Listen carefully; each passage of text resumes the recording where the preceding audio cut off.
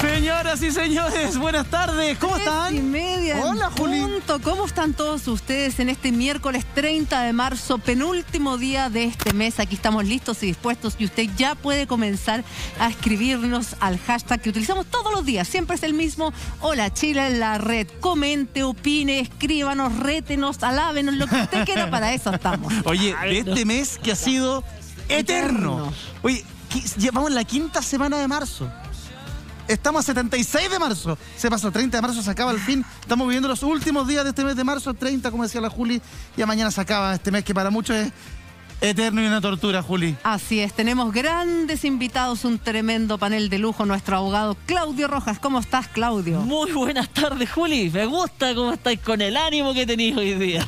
Tengo mucho ánimo porque hoy día tú tienes mucho trabajo. Eh, eh, ya me bajo ni. Arréglese la mascarilla, mi perro Sí, querido. pues. Ahí está. Faltó venir de, de naranja para exprimirlo más. Exacto. Está Eso. nuestro ciudadano Alejandro Guille. ¿Cómo está, ciudadano? Muy bien, yo todavía herido, pero ya empezando a buscar nuevas estrellas para levantar nuevamente a la selección. Muy bien. En todo caso, mi gratitud eterna a esta generación dorada que terminó porque se pusieron viejos y usted- hay que respetar a los El viejos. ciclo de la vida, ese es el el espíritu. ciclo de la vida. Gratitud siempre ante la vida. Me gusta, me gusta hay que. Y porque también- Fue inédito todo lo que vivimos. Es verdad. Y también nos acompaña el emergenciólogo, sí, Yuk Ramón Con. ¿Cómo está, doctor? Gusto verlo aquí en el estudio. Un abrazo. Bien, encantado, gusto en saludarlo. eh, estar compartiendo hoy día con, con la gente de sus casas. Un día, como decía el ciudadano hoy, eh, difícil, después de lo que pasamos ayer, que me gustó lo del aplauso final. Yo ¿no? eso, me emocioné en la casa solo. Sí. Eh, para los que somos futboleros, que seguimos las selecciones, es importante también reconocer lo que nos han dado y hoy día ya buscar las alternativas para lo que se vendrá después, con esa alegría que nos da el fútbol. Tal cual. Muy bien. Me encantó. Sí, ese es el espíritu. Hay que, hay que remar para hacer el futuro. Mirar el pasado, no con esa eterna nos- nostalgia, sino con lo lindo que nos dejaron. Y de aquí para adelante, darle con tutti. Tenemos polémica de mascarilla, Juli. Tenemos polémica de la mascarilla y nosotros todos con mascarilla, pero sí, es que somos muchos hoy día en el estudio, somos un tremendo panel y vamos a estar analizando lo que sucedió en Chile, chico, a partir de una ordenanza municipal eh, creada por el alcalde Luperciano Muñoz que dice que finalmente en los espacios públicos en su comuna ya no va a ser obligatorio el uso de la mascarilla. Asegura que la gente ya está cabreada de andar con mascarilla, que en Chile Chico corre mucho viento, que la gente hace mucha vida al aire libre, que no es lo mismo eh, esta medida en Chile Chico que en el resto del país y le pide a las autoridades que tomen conciencia en el fondo de la realidad que ellos viven. Aparentemente, desde Santiago le contestaron que la mascarilla sigue siendo obligatoria en su uso para todo el país. Estamos en contacto con el alcalde de Chile Chico, Luperciano Muñoz. Gracias, alcalde, por estar con nosotros. ¿Cómo está usted? Buenas tardes. Hola, buenas tardes, muchas gracias. Oye, un placer ahí compartir con a- el, el señor Alejandro Guillé. Trabajé en su comando cuando fue candidato presidencial, una gran persona, un gran político. Bueno, una lástima que no haya sido presidente de Chile. Se lo perdió Chile nada más. ¿Qué tal? Lo tenemos aquí en el equipo. Después de eso no lo puedo criticar por la mascarilla. Se lo echó al bolsillo. No, no. De entrada. listo. ya, me marcó el hueso. Claro, pero, pero mira, hueso. se lo perdió Chile, pero Ya. hola Chile no se lo farrea. Exacto. Aquí está con nosotros. Alcalde, me gustaría saber por qué usted decide crear esta ordenanza municipal. ¿Qué pasa en Chile Chico por lo cual usted dice que la gente ya está cabreada con el uso de la mascarilla?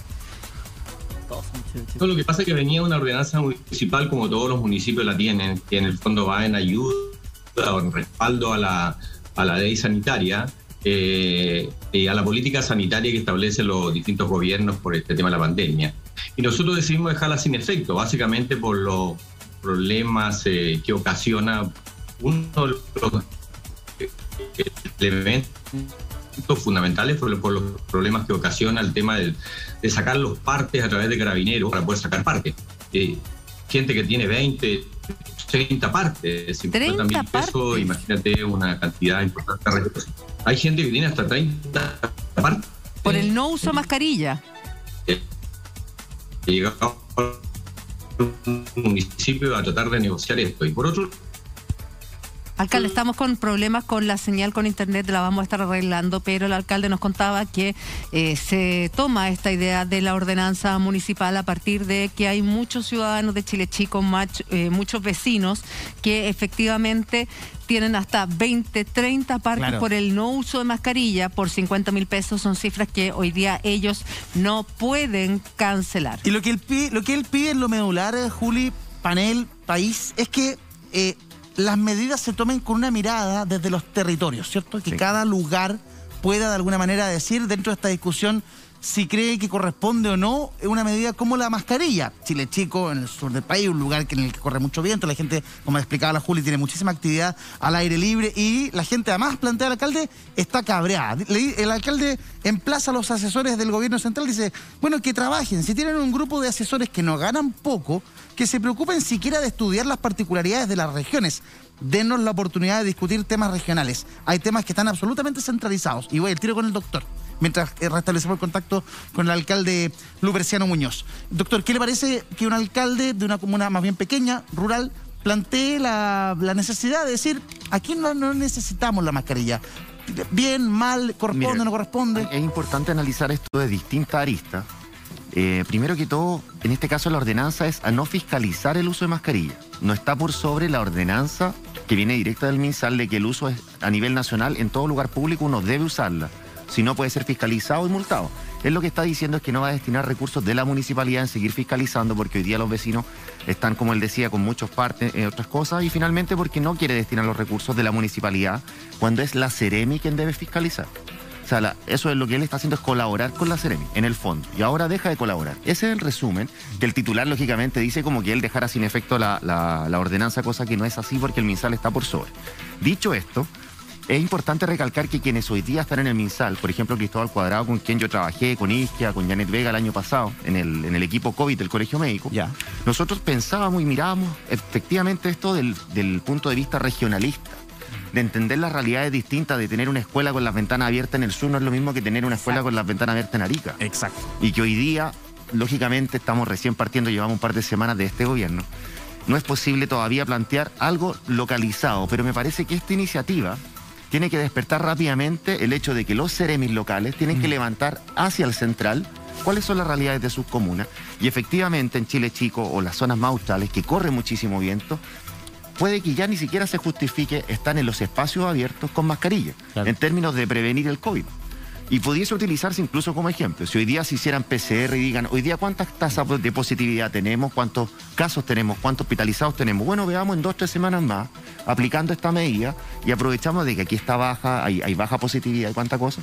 Y podemos ir viendo que en esa zona se puede. Y así vamos levantando, haciendo estas burbujas que se hablaron en algún minuto, burbujas sanitarias o burbujas verdes. Claro. Que dentro están prácticamente libres de COVID y pueden hacer una vida más normal. Todas esas son alternativas que este gobierno yo sé que maneja y que espero la empiece a implementar. Doctor, según tenemos entendido en este momento, hay 26 casos activos en la comuna de Chile Chico.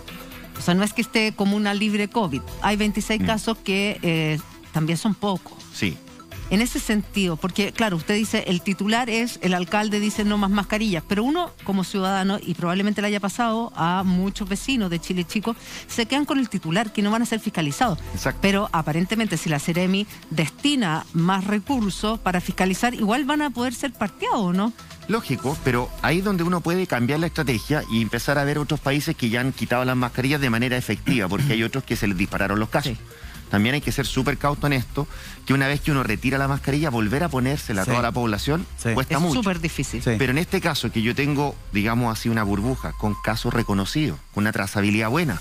Eso es importante porque habíamos perdido la trazabilidad durante esta oleada que recién pasamos. Se había perdido de vista cuando teníamos 30.000 casos, entonces era imposible. Claro. Hoy se puede, y tú a esos pacientes, a esos casos índice y a sus contactos estrechos, que hoy día se cambió la denominación, pero en el fondo, en esas casas, en esos trabajos, tú a ellos los aíslas, a ellos les pones una KN95 para que salgan de sus lugares, a los compañeros de trabajo que salieron en este caso, ponte tú, se fue uno para la casa, el resto sigue trabajando con KN, pero no tendrías que obligar a toda la población a cubrirse cuando son tan poquitos los casos que sí son los activos. Doctor, tú puedes darlo cifras- vuelta. Con estas cifras que entrega el Departamento de Estadísticas e Información de Salud de la región de Aysén, eh, a la cual pertenece Chile Chico, eh, corresponde o podrían eventualmente quitarse la, la mascarilla, tienen una cobe- cobertura de vacunación de un 98,8%, alto. Es brutalmente Sin bueno. embargo, registran la mayor tasa de incidencia de casos activos por cada 100.000 del país, 219,4.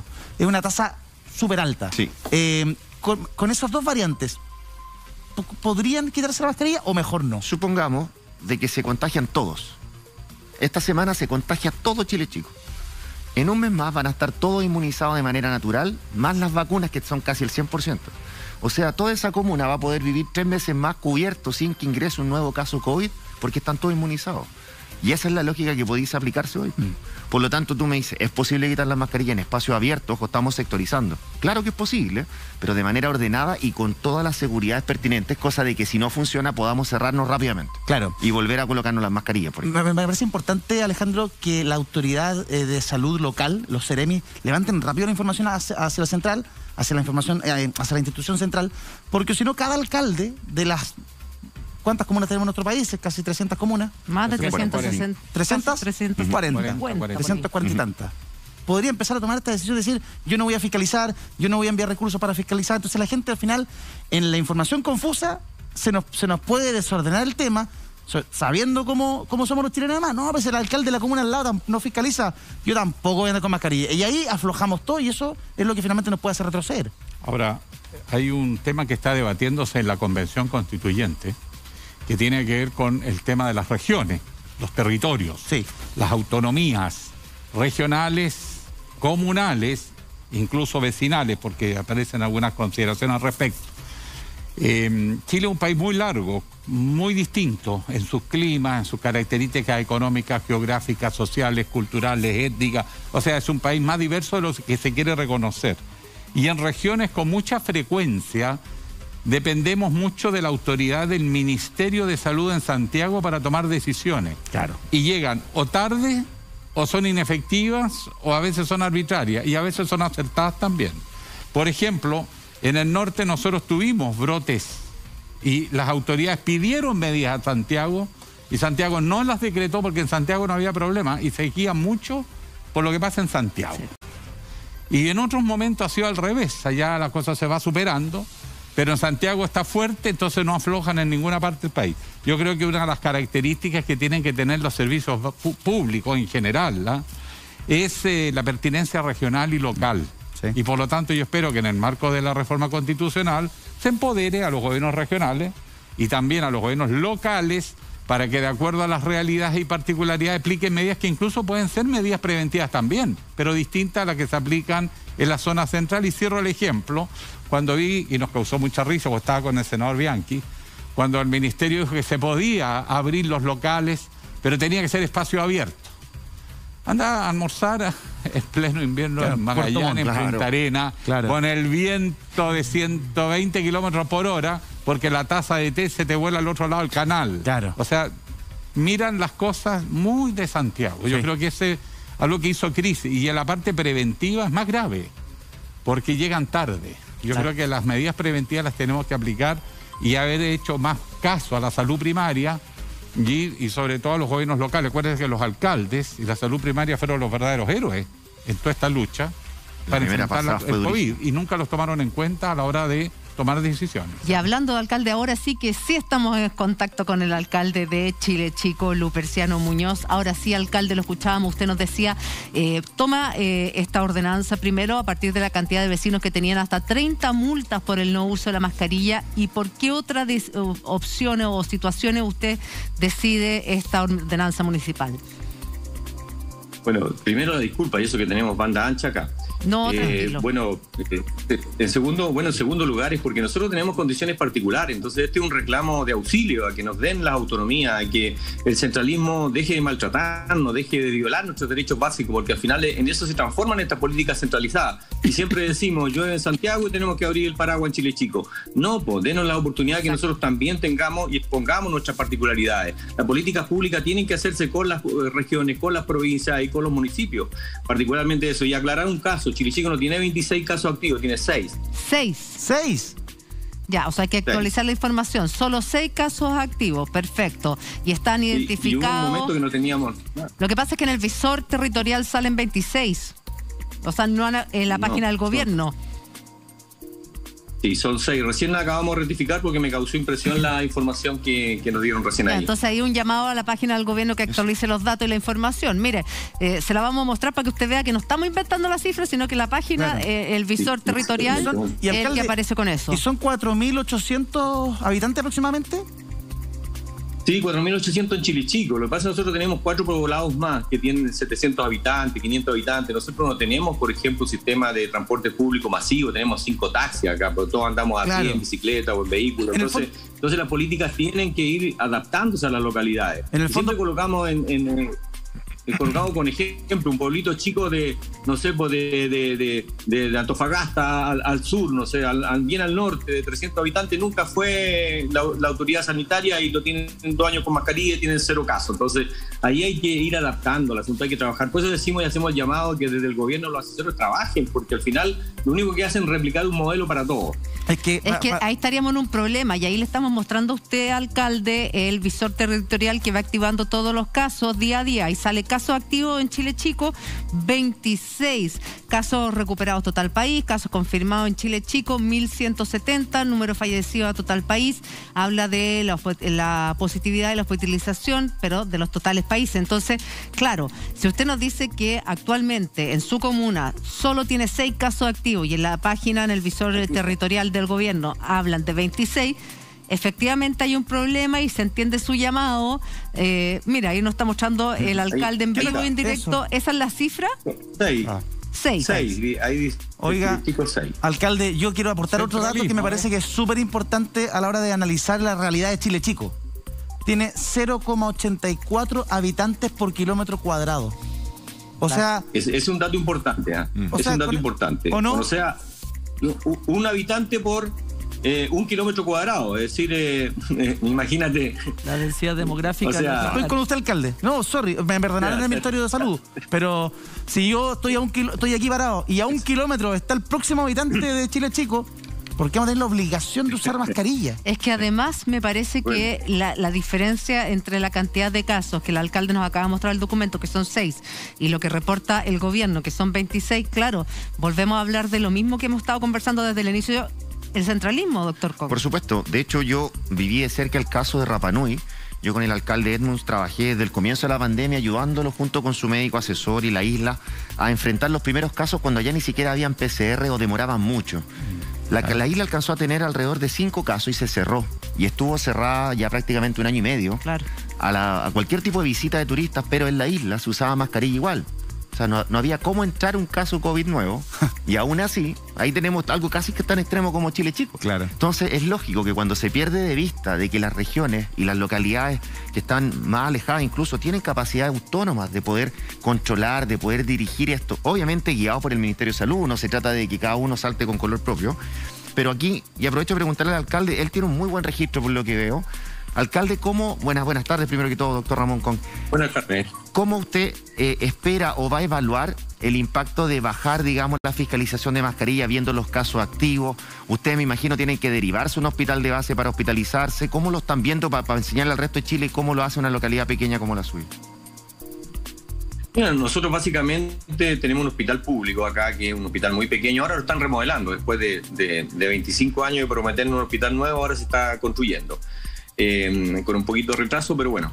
Eh, nosotros vamos, no- nuestro hospital base es Coyhaique. Nosotros aquí tenemos que eh, pasar dos horas y media en barcaza, que dice de paso, tenemos todas las barcazas malas, estamos cero conectividad. Entonces, es un tema extremadamente grave.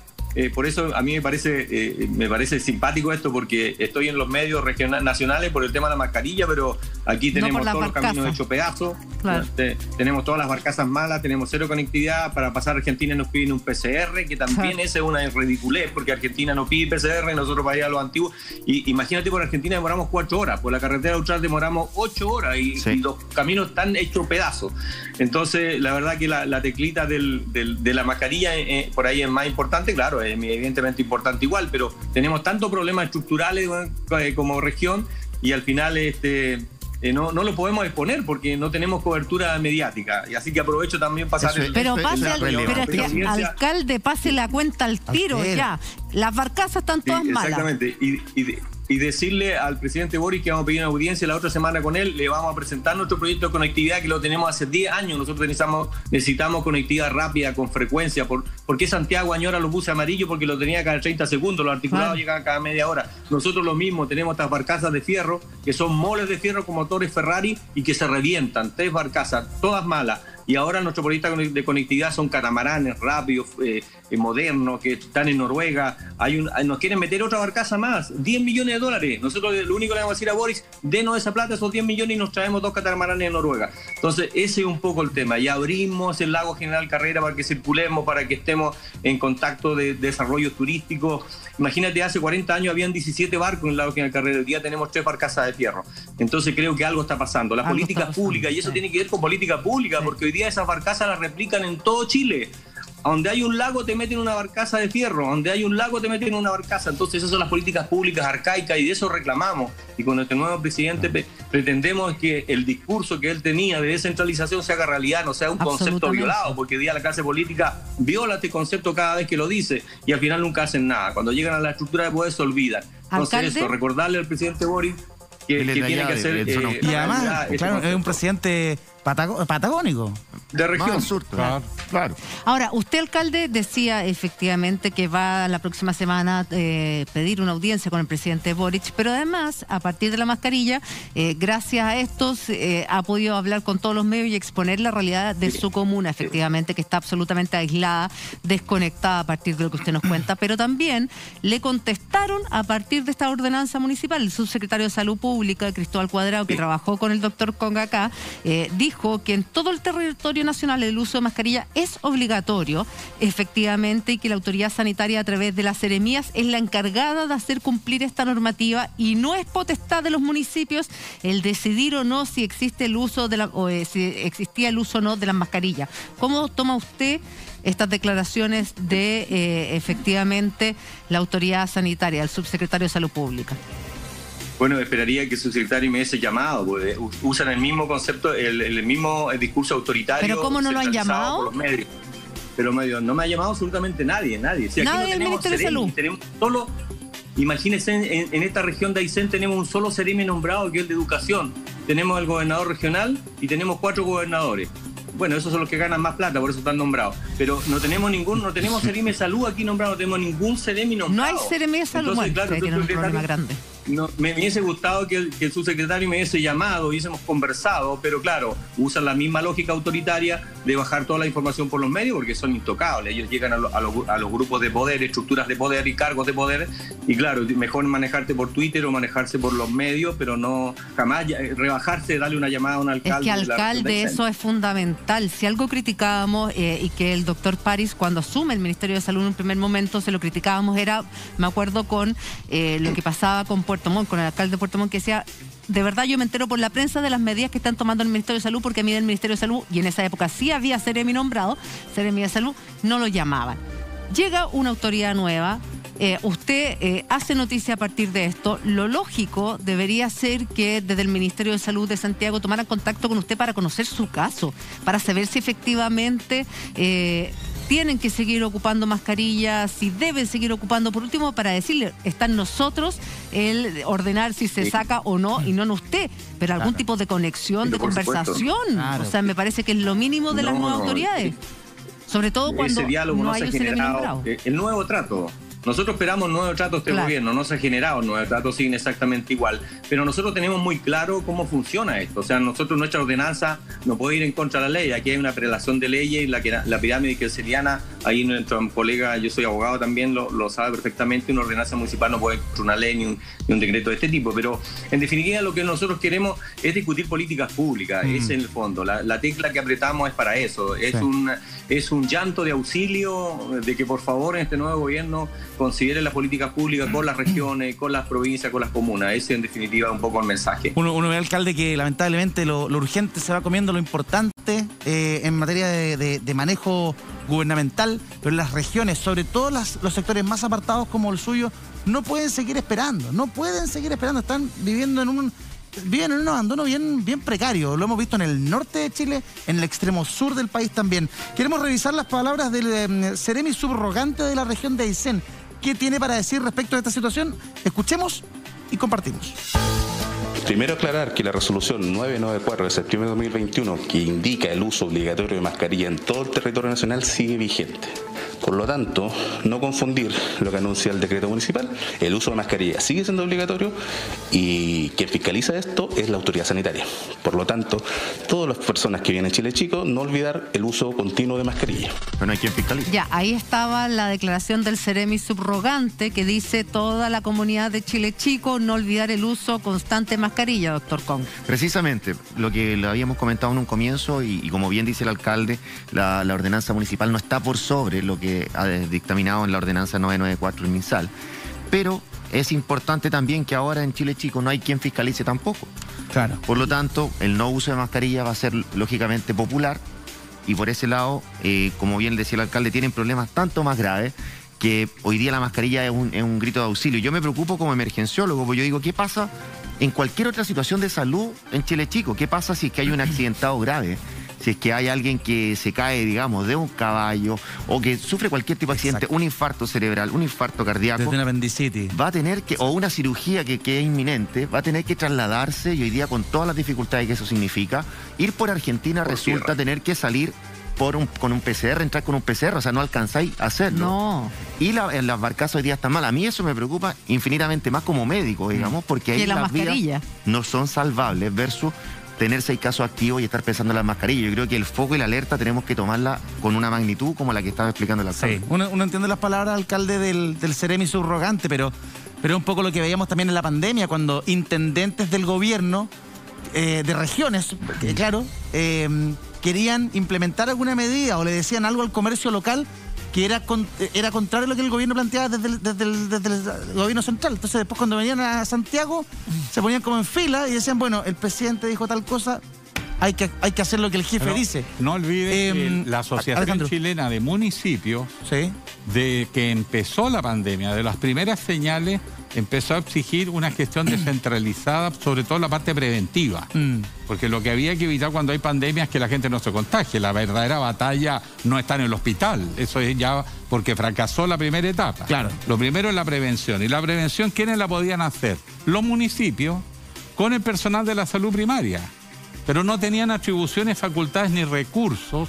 por- pero ellos pueden llegar hasta el último habitante porque, por ejemplo, una junta de vecinos que colabora con el municipio sabe hasta qué persona está, es un viejito que está aislado, que vive solo y que podría estar enfermo. Sí. Entonces ese mapeo no lo tiene Santiago.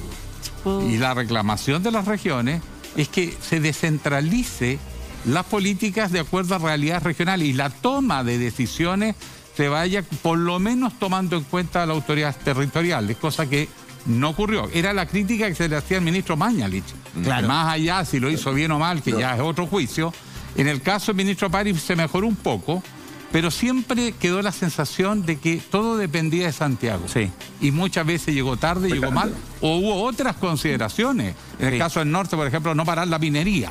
Claro. Entonces, por no parar la minería, nosotros tuvimos al revés, que no se tomaban medidas restrictivas pues, en los aeropuertos, que es la principal foco de contagio, porque ahí es donde se juntan, yo no sé si alguna ha venido. Es el segundo aeropuerto con más movimiento en Chile, después de Santiago. Antofagasta. Eh, Calama. Oiga, don Calama. Alejandro, Alcalde, amigo. eh, don Alejandro, también decir, bueno, usted fue parlamentario y, y sabe el tema de, de políticas públicas. Imagínese la inconsecuencia hoy día de esta política pública sanitaria que hacen el, este festival de Lola Palusa. Ahí como hay grandes grupos económicos cruzados que, que en el fondo ponen propaganda por todos lados, eh, nadie los criticó, que hubo un desastre ahí, un, un- foco enorme. Sí. Todos violaron la norma sanitaria y nadie dice nada. Ahora el tema de los restaurantes, usted se baja sin mascarilla, se coloca la mascarilla, que llega a la puerta del restaurante, se saca la mascarilla, entra sin mascarilla y está lleno de gente. Entonces, ¿cuál es el sentido de mantener una política pública que hace agua por todos lados? Y aparte de eso, el gran negocio que hay detrás del gel, el gran negocio detrás de la mascarilla, el gran negocio de todo, porque esto es todo negocio. En definitiva es eso. Entonces, claro, eh, esperemos que nuestros amigos vendan los stocks primero y después sacamos la Alca- mascarilla. Un poco es alcal- así el asunto. Alcalde Cortito, eh, respecto al tema de la, la dictación de la ordenanza, ya tenemos claro que tenía una finalidad comunicacional, una finalidad de "Ay, estamos acá, somos Chile, por favor, pesquennos.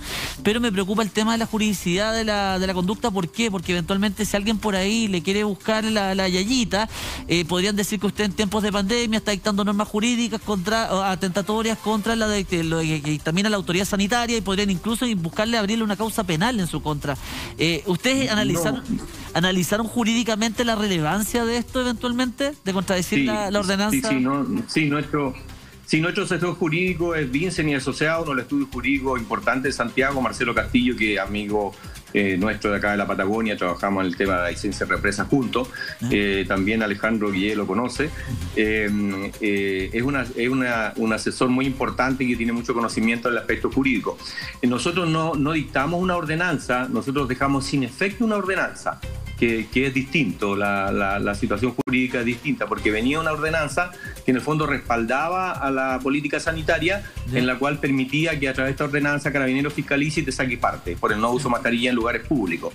Y nosotros hemos dejado sin efecto esa ordenanza municipal en el fondo. No, no tenemos consecuencias jurídicas porque no estamos dictando un acto administrativo para, para digamos, colocar una ordenanza normativa, sino que estamos dejando sin efecto. Claro, es al revés. Sí. Es muy bien lo que usted dice, muy importante lo que usted plantea como abogado. Bien. Lo Ah, consideramos también eso. Aclarada la duda, alcalde, le mandamos un abrazo cariñoso a la distancia. Esperemos que, que las cosas marchen bien en Chile Chico en materia de pandemia, también en materia de conectividad. No pueden tener estas barcazas de fierro cuando la modernidad de los nuevos tiempos, en cualquier parte del mundo, por mucho menos plata, puede entrar una barcaza, puede entrar otro tipo de transporte De embarcación. eh, de embarcación, eso quiero decir, de embarcación como las que se usan en Europa. Pásenle la plata, ellos saben perfectamente qué es lo que tienen que hacer. No déjense de tomar decisiones en una oficina de cuatro paredes aquí en Santiago respecto de una realidad que no conocen simplemente. Abrazo, alcalde, que esté bien, cuídese.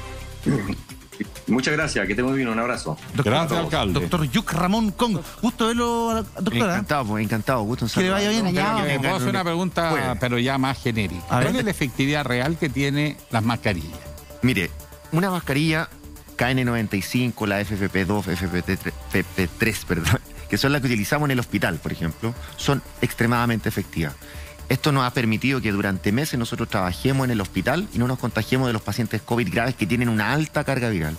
Y ahí uno puede demostrar in situ la efectividad, pero bien colocada, con un sinfín de medidas que se corresponden dentro del lugar en donde todos estamos acostumbrados a llevarla a cabo.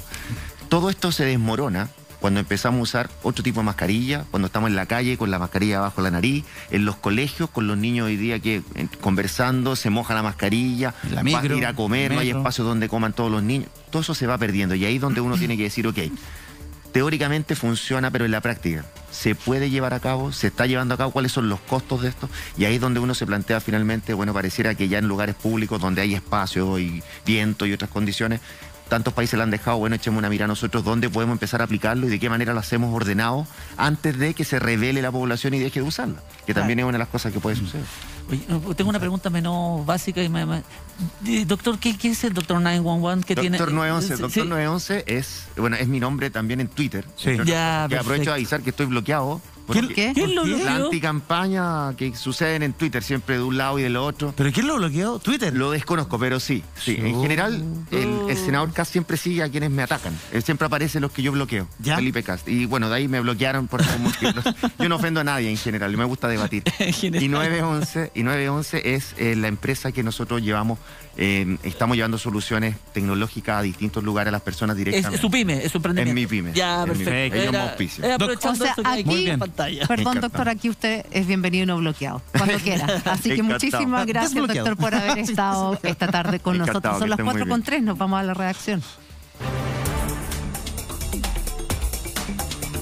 Haciendo Hola Chile en esta, esta tarde de martes 29 de marzo. Estamos Miércoles. acompañados, perdón, Miércoles 30. miércoles, toda la razón. Miércoles. Está viviendo el día de ayer de nuevo. Sí, ¿Qué pasó? Quiero que bueno ciertas cosas se repitan y otras que no.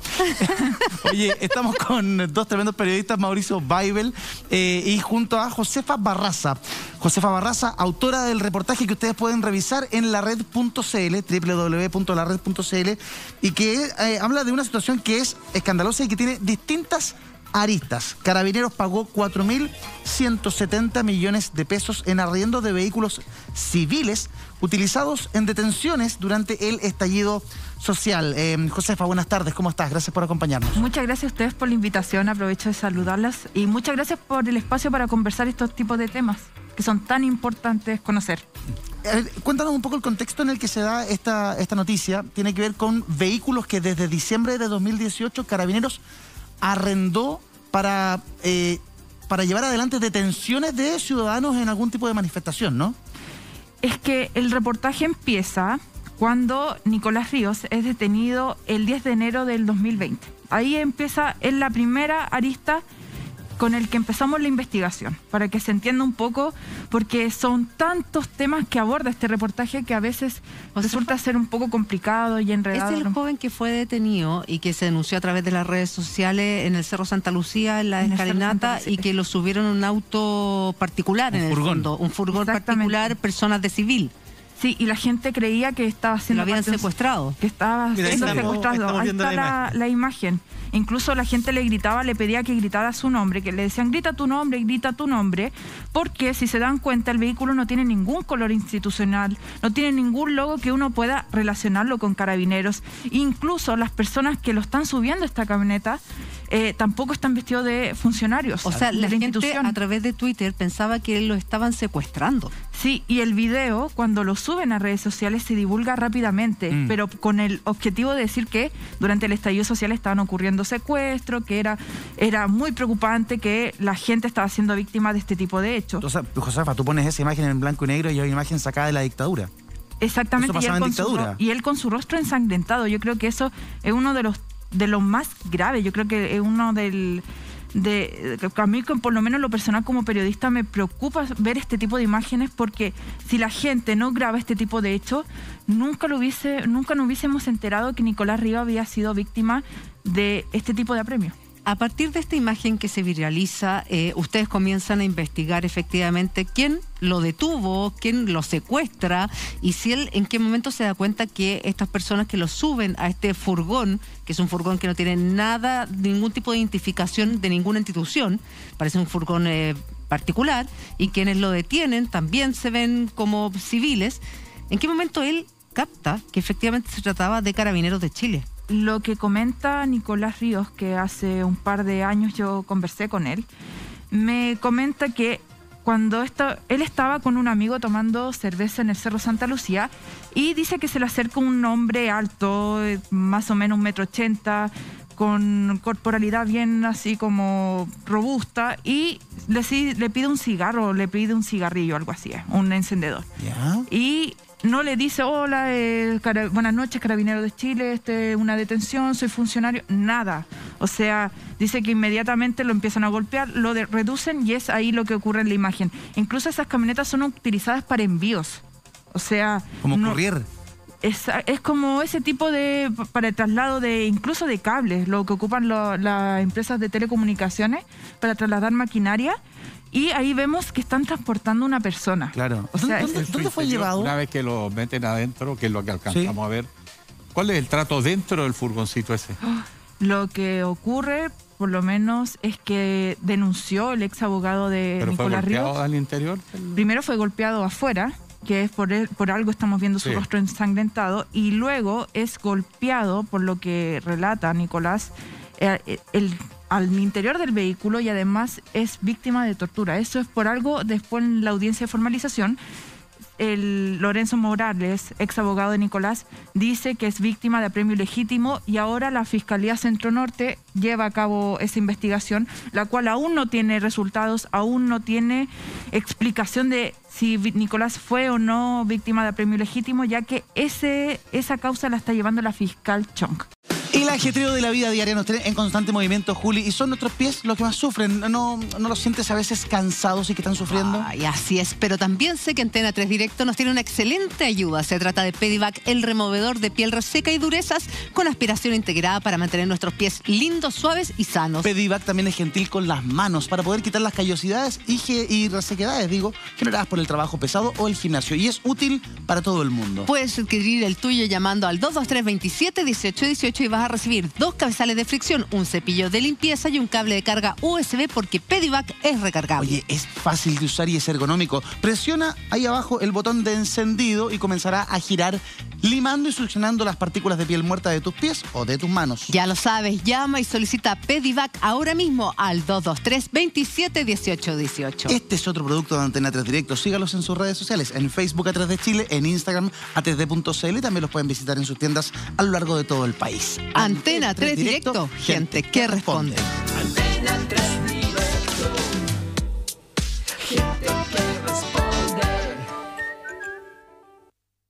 Juega ahora en holamillones.cl y gana todos los viernes un millón de pesos en Hola Chile. Ingresa desde tu celular con el código QR que aparece en pantalla y participa por un millón de pesos. Recuerda, juega ahora en holamillones.cl y este viernes estarás participando por un millón de pesos en Hola Chile.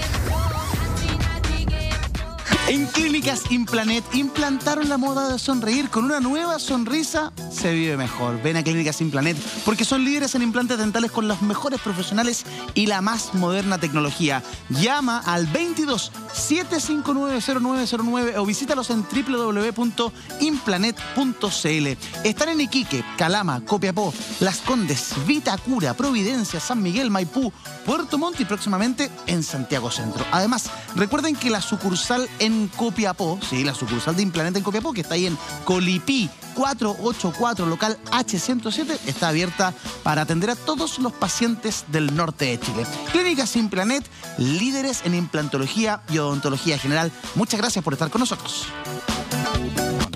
4 de la tarde con 49 minutos se suma nuestro panel Carlos Gutiérrez. Carlos, ¿cómo estás? Buenas tardes. Muy bien, gracias. Qué bueno. Vamos a estar hablando porque hay nueva información con respecto a la exalcaldesa de Antofagasta, Karen Rojo, y quien maneja todos los antecedentes es nuestro periodista Pablo Yutrovich. Pablo, ¿cómo estás? Buenas tardes.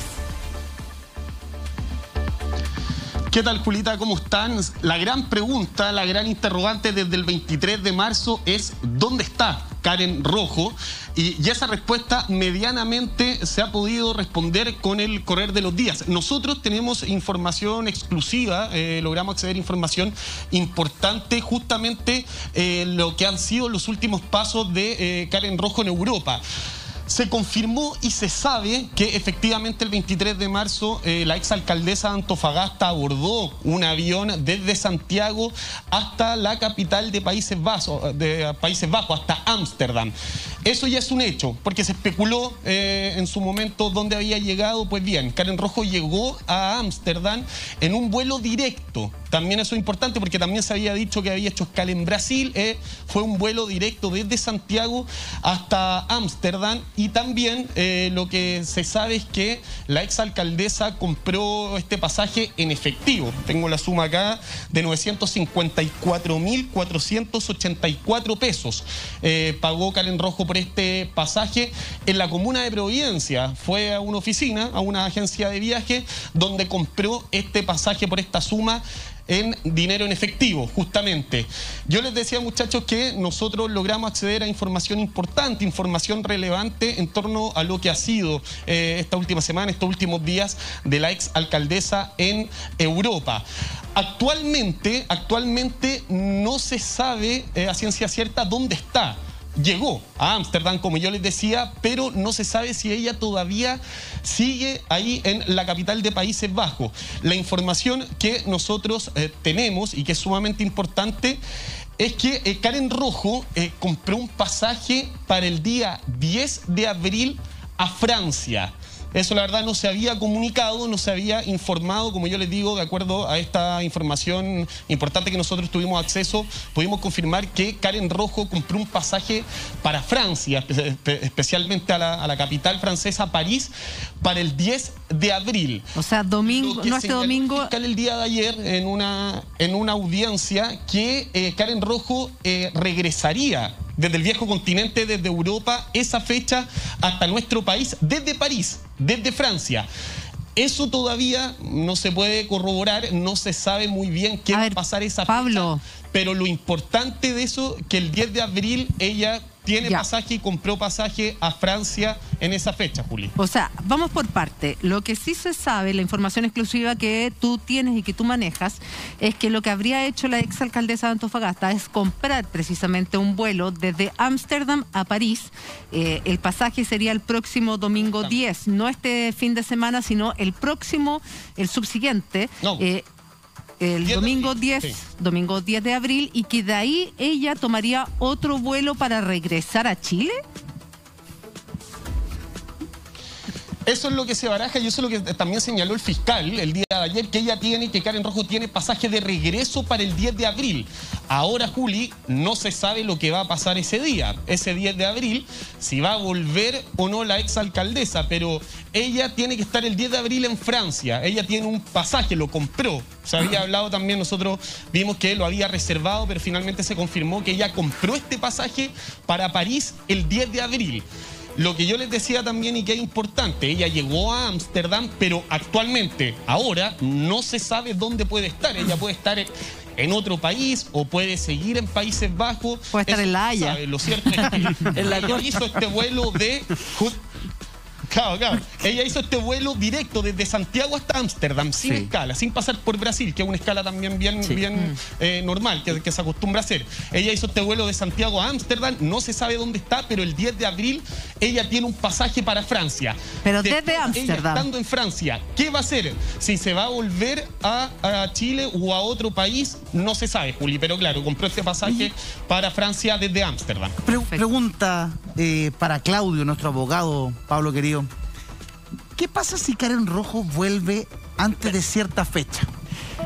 Ella entra al país y dice, yo vengo a entregarme porque yo tengo que entrar a la cárcel tal día, que entiendo que el plazo es el 11 de abril. Sí, lo que pasa es que quiero aclarar algo. A ver, aclare. Eh, aclaración, aclaración. Lo que pasa es que tenemos, ustedes saben que dentro del Ministerio Público uno tiene sus conocidos y la que de formación vuela.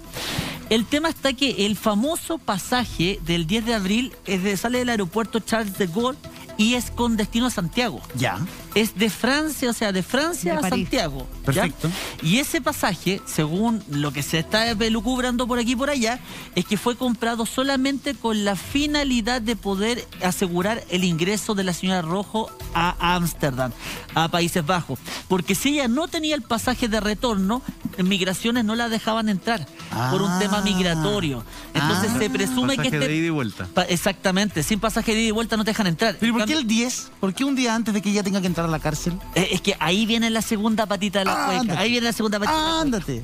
¿Qué es lo que algunos creen? Algunos de los algunas de las personas que tienen un poquito de, de, ¿cómo se llama?, de imaginación en este país, sueñan con que la señora Karen Rojo eventualmente podría tomar el vuelo del 10 de abril, llegar el día 11 a Chile, y como no ha sido notificada, con su mejor cara cuando llegue a pasar por Policía Internacional, diga, yo, condenada, no tenía idea de qué me están hablando. Bueno, notifíquenme y venir a cumplir su condena.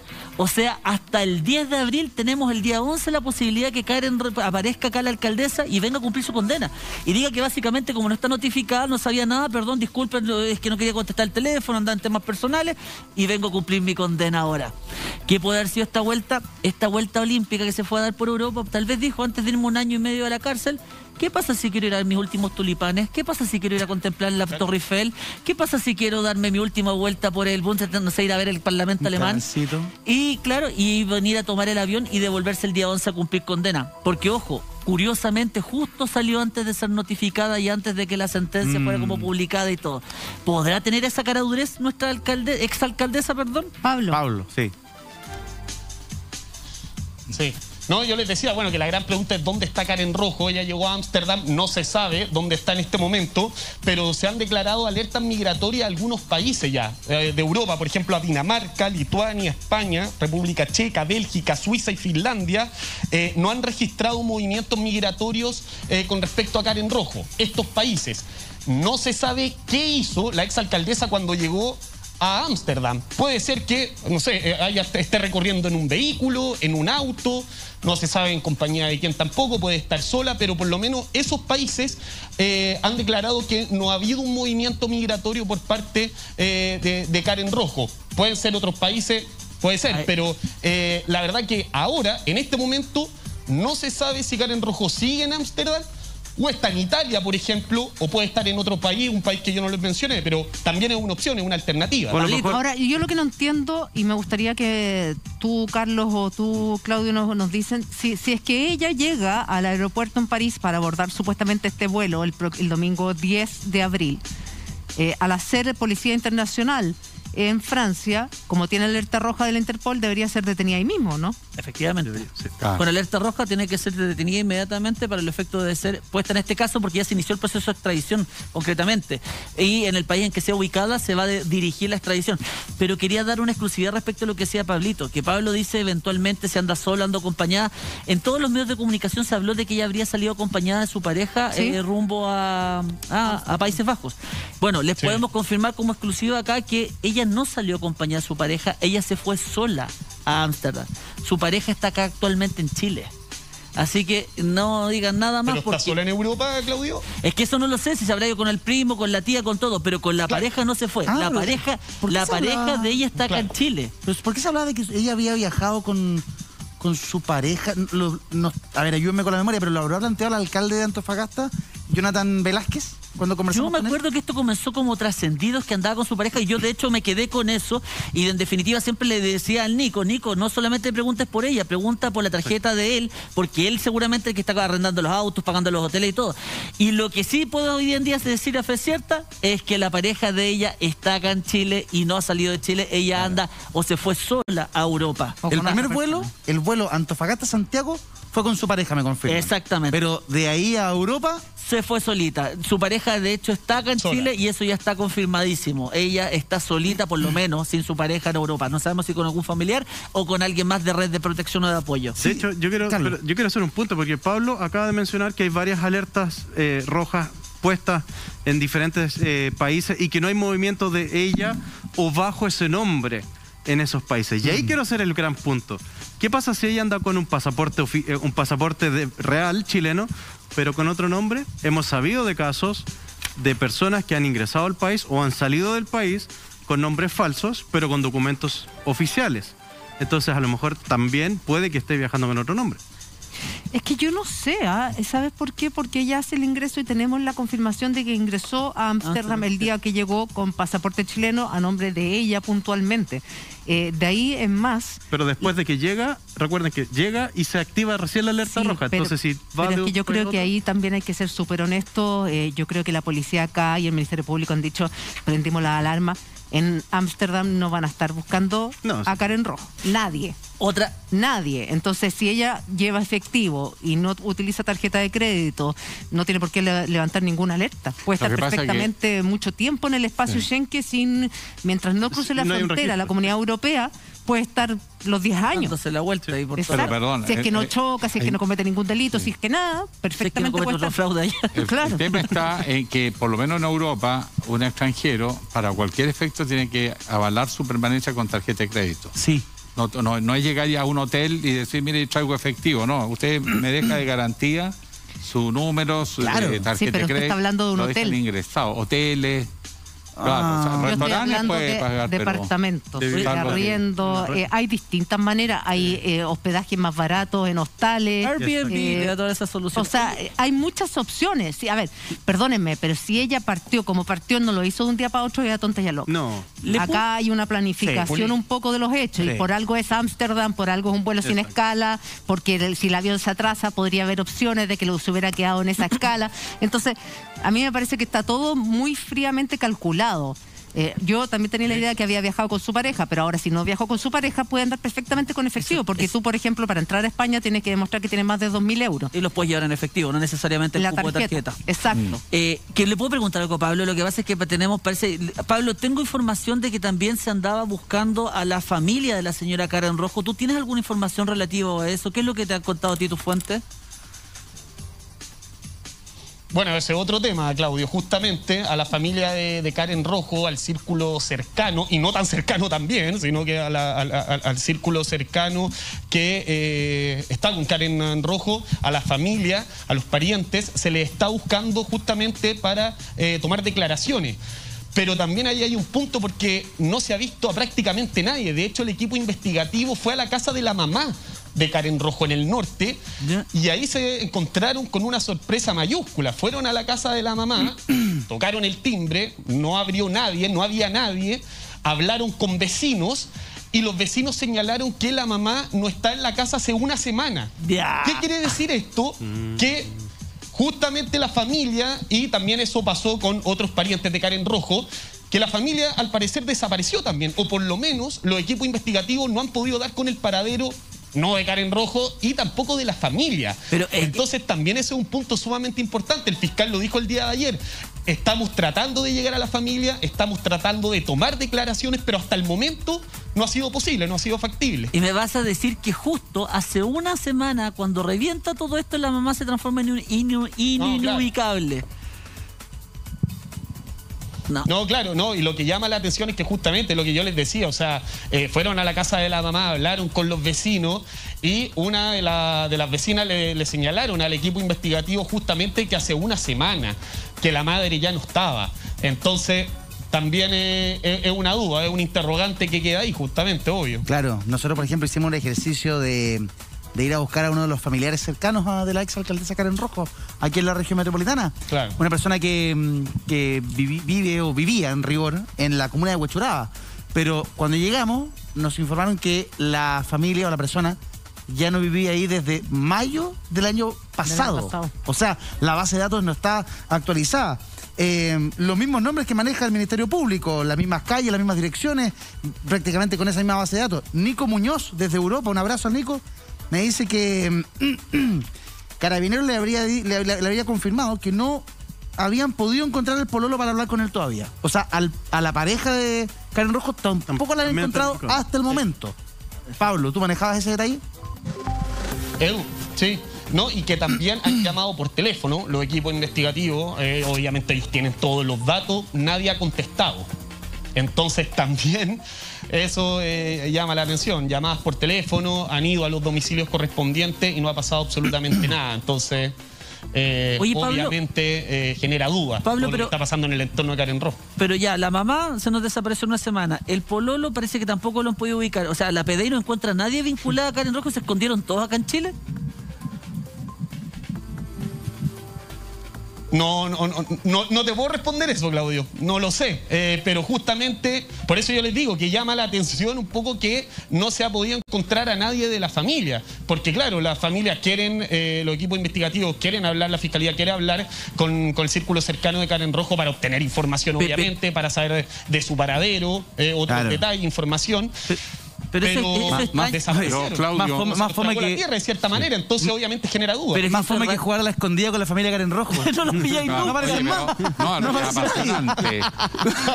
Pero la pregunta para nuestro Ah. abogado, ¿la familia está obligada a, hacer declaraciones? Buena ¿Por pregunta. qué yo, hermano, primo, novio, tengo que estar hablando en un caso donde no estoy involucrado?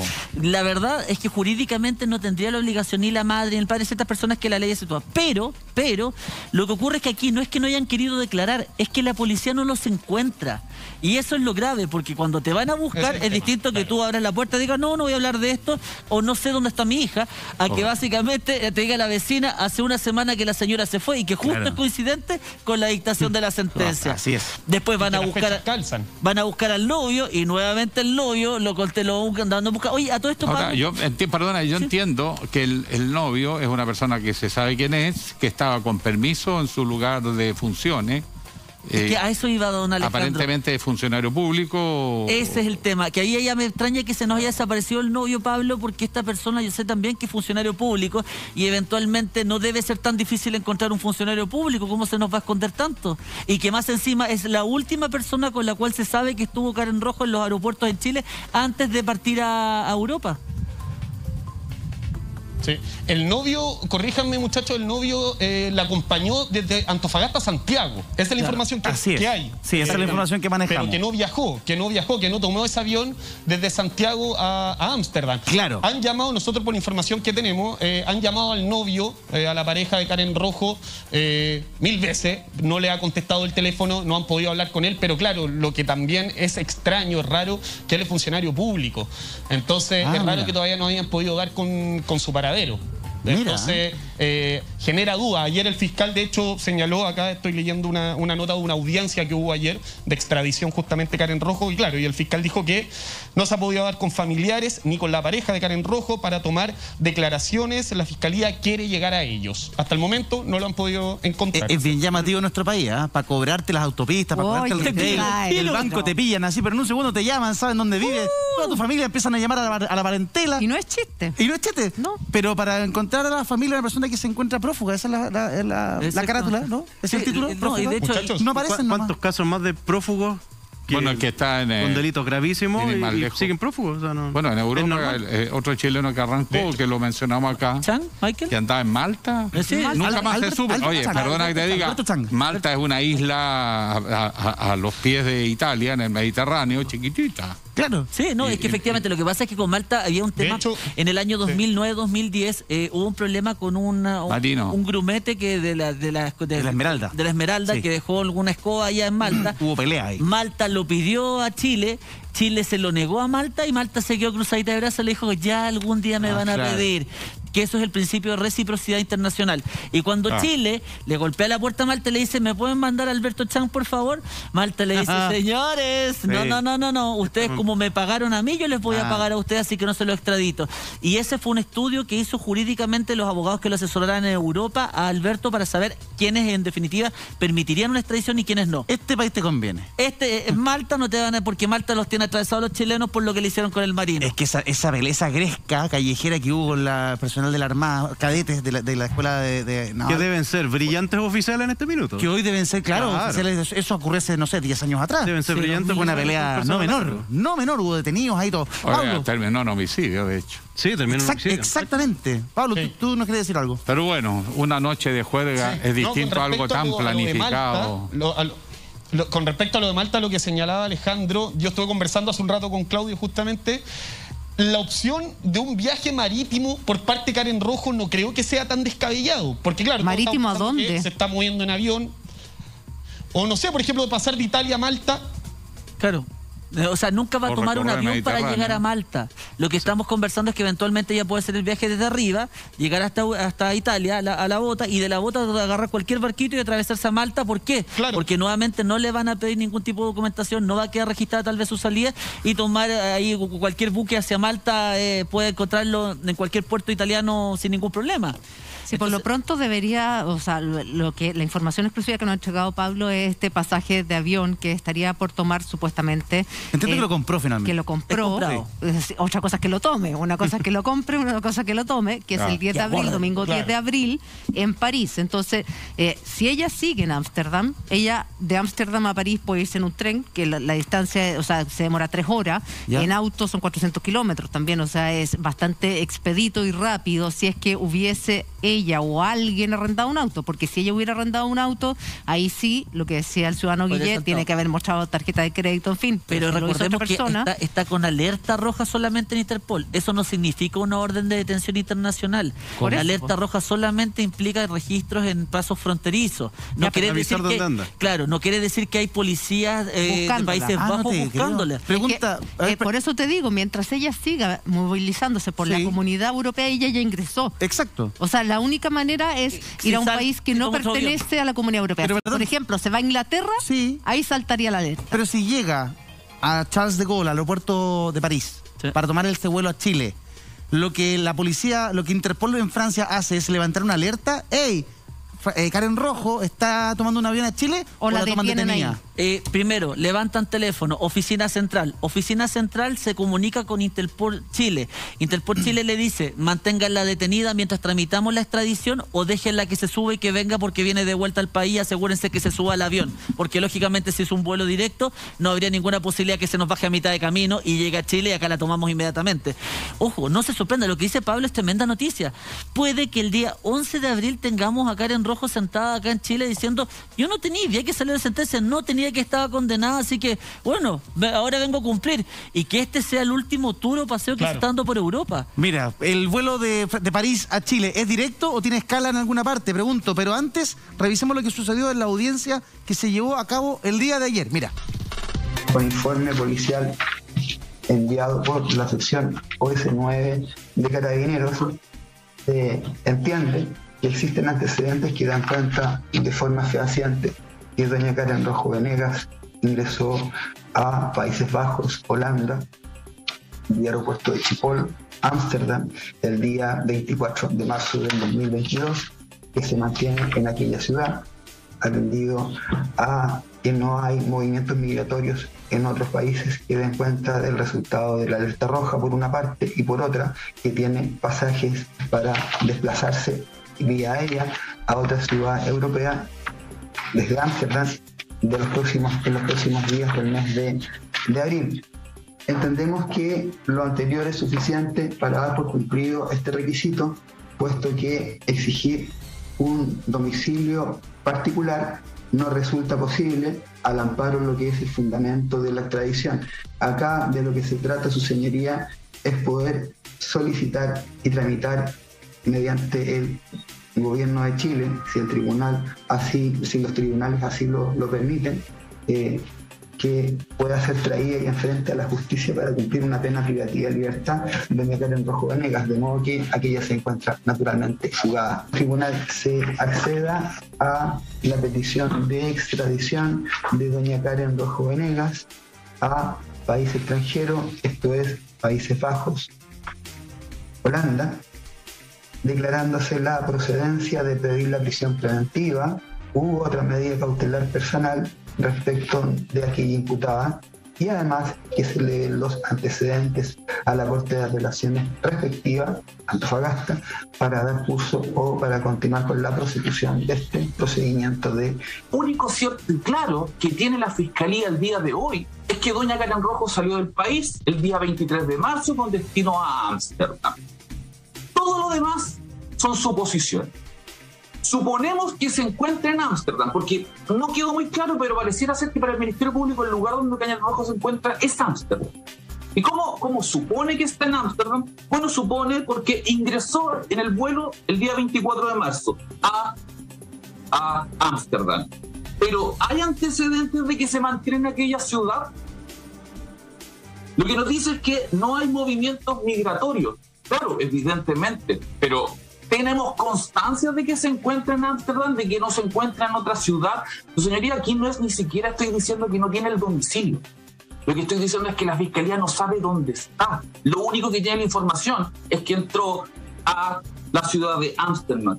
¿Cuál es la suposición? ¿Cuál es la, la base para una inferencia, su señoría? Nos dice que tiene pasajes para trasladarse desde Ámsterdam, que evidentemente podrían ser utilizados y doña Karen Rojo volver a Chile. ¿Qué fecha tiene? Omitido por el señor fiscal. El día 10 de abril. Esa es la fecha del pasaje de vuelta. Estamos hoy día a 29 de marzo. ¿Quién necesita 10 días, 11 días para permanecer en una ciudad para trasladarse en un vuelo internacional?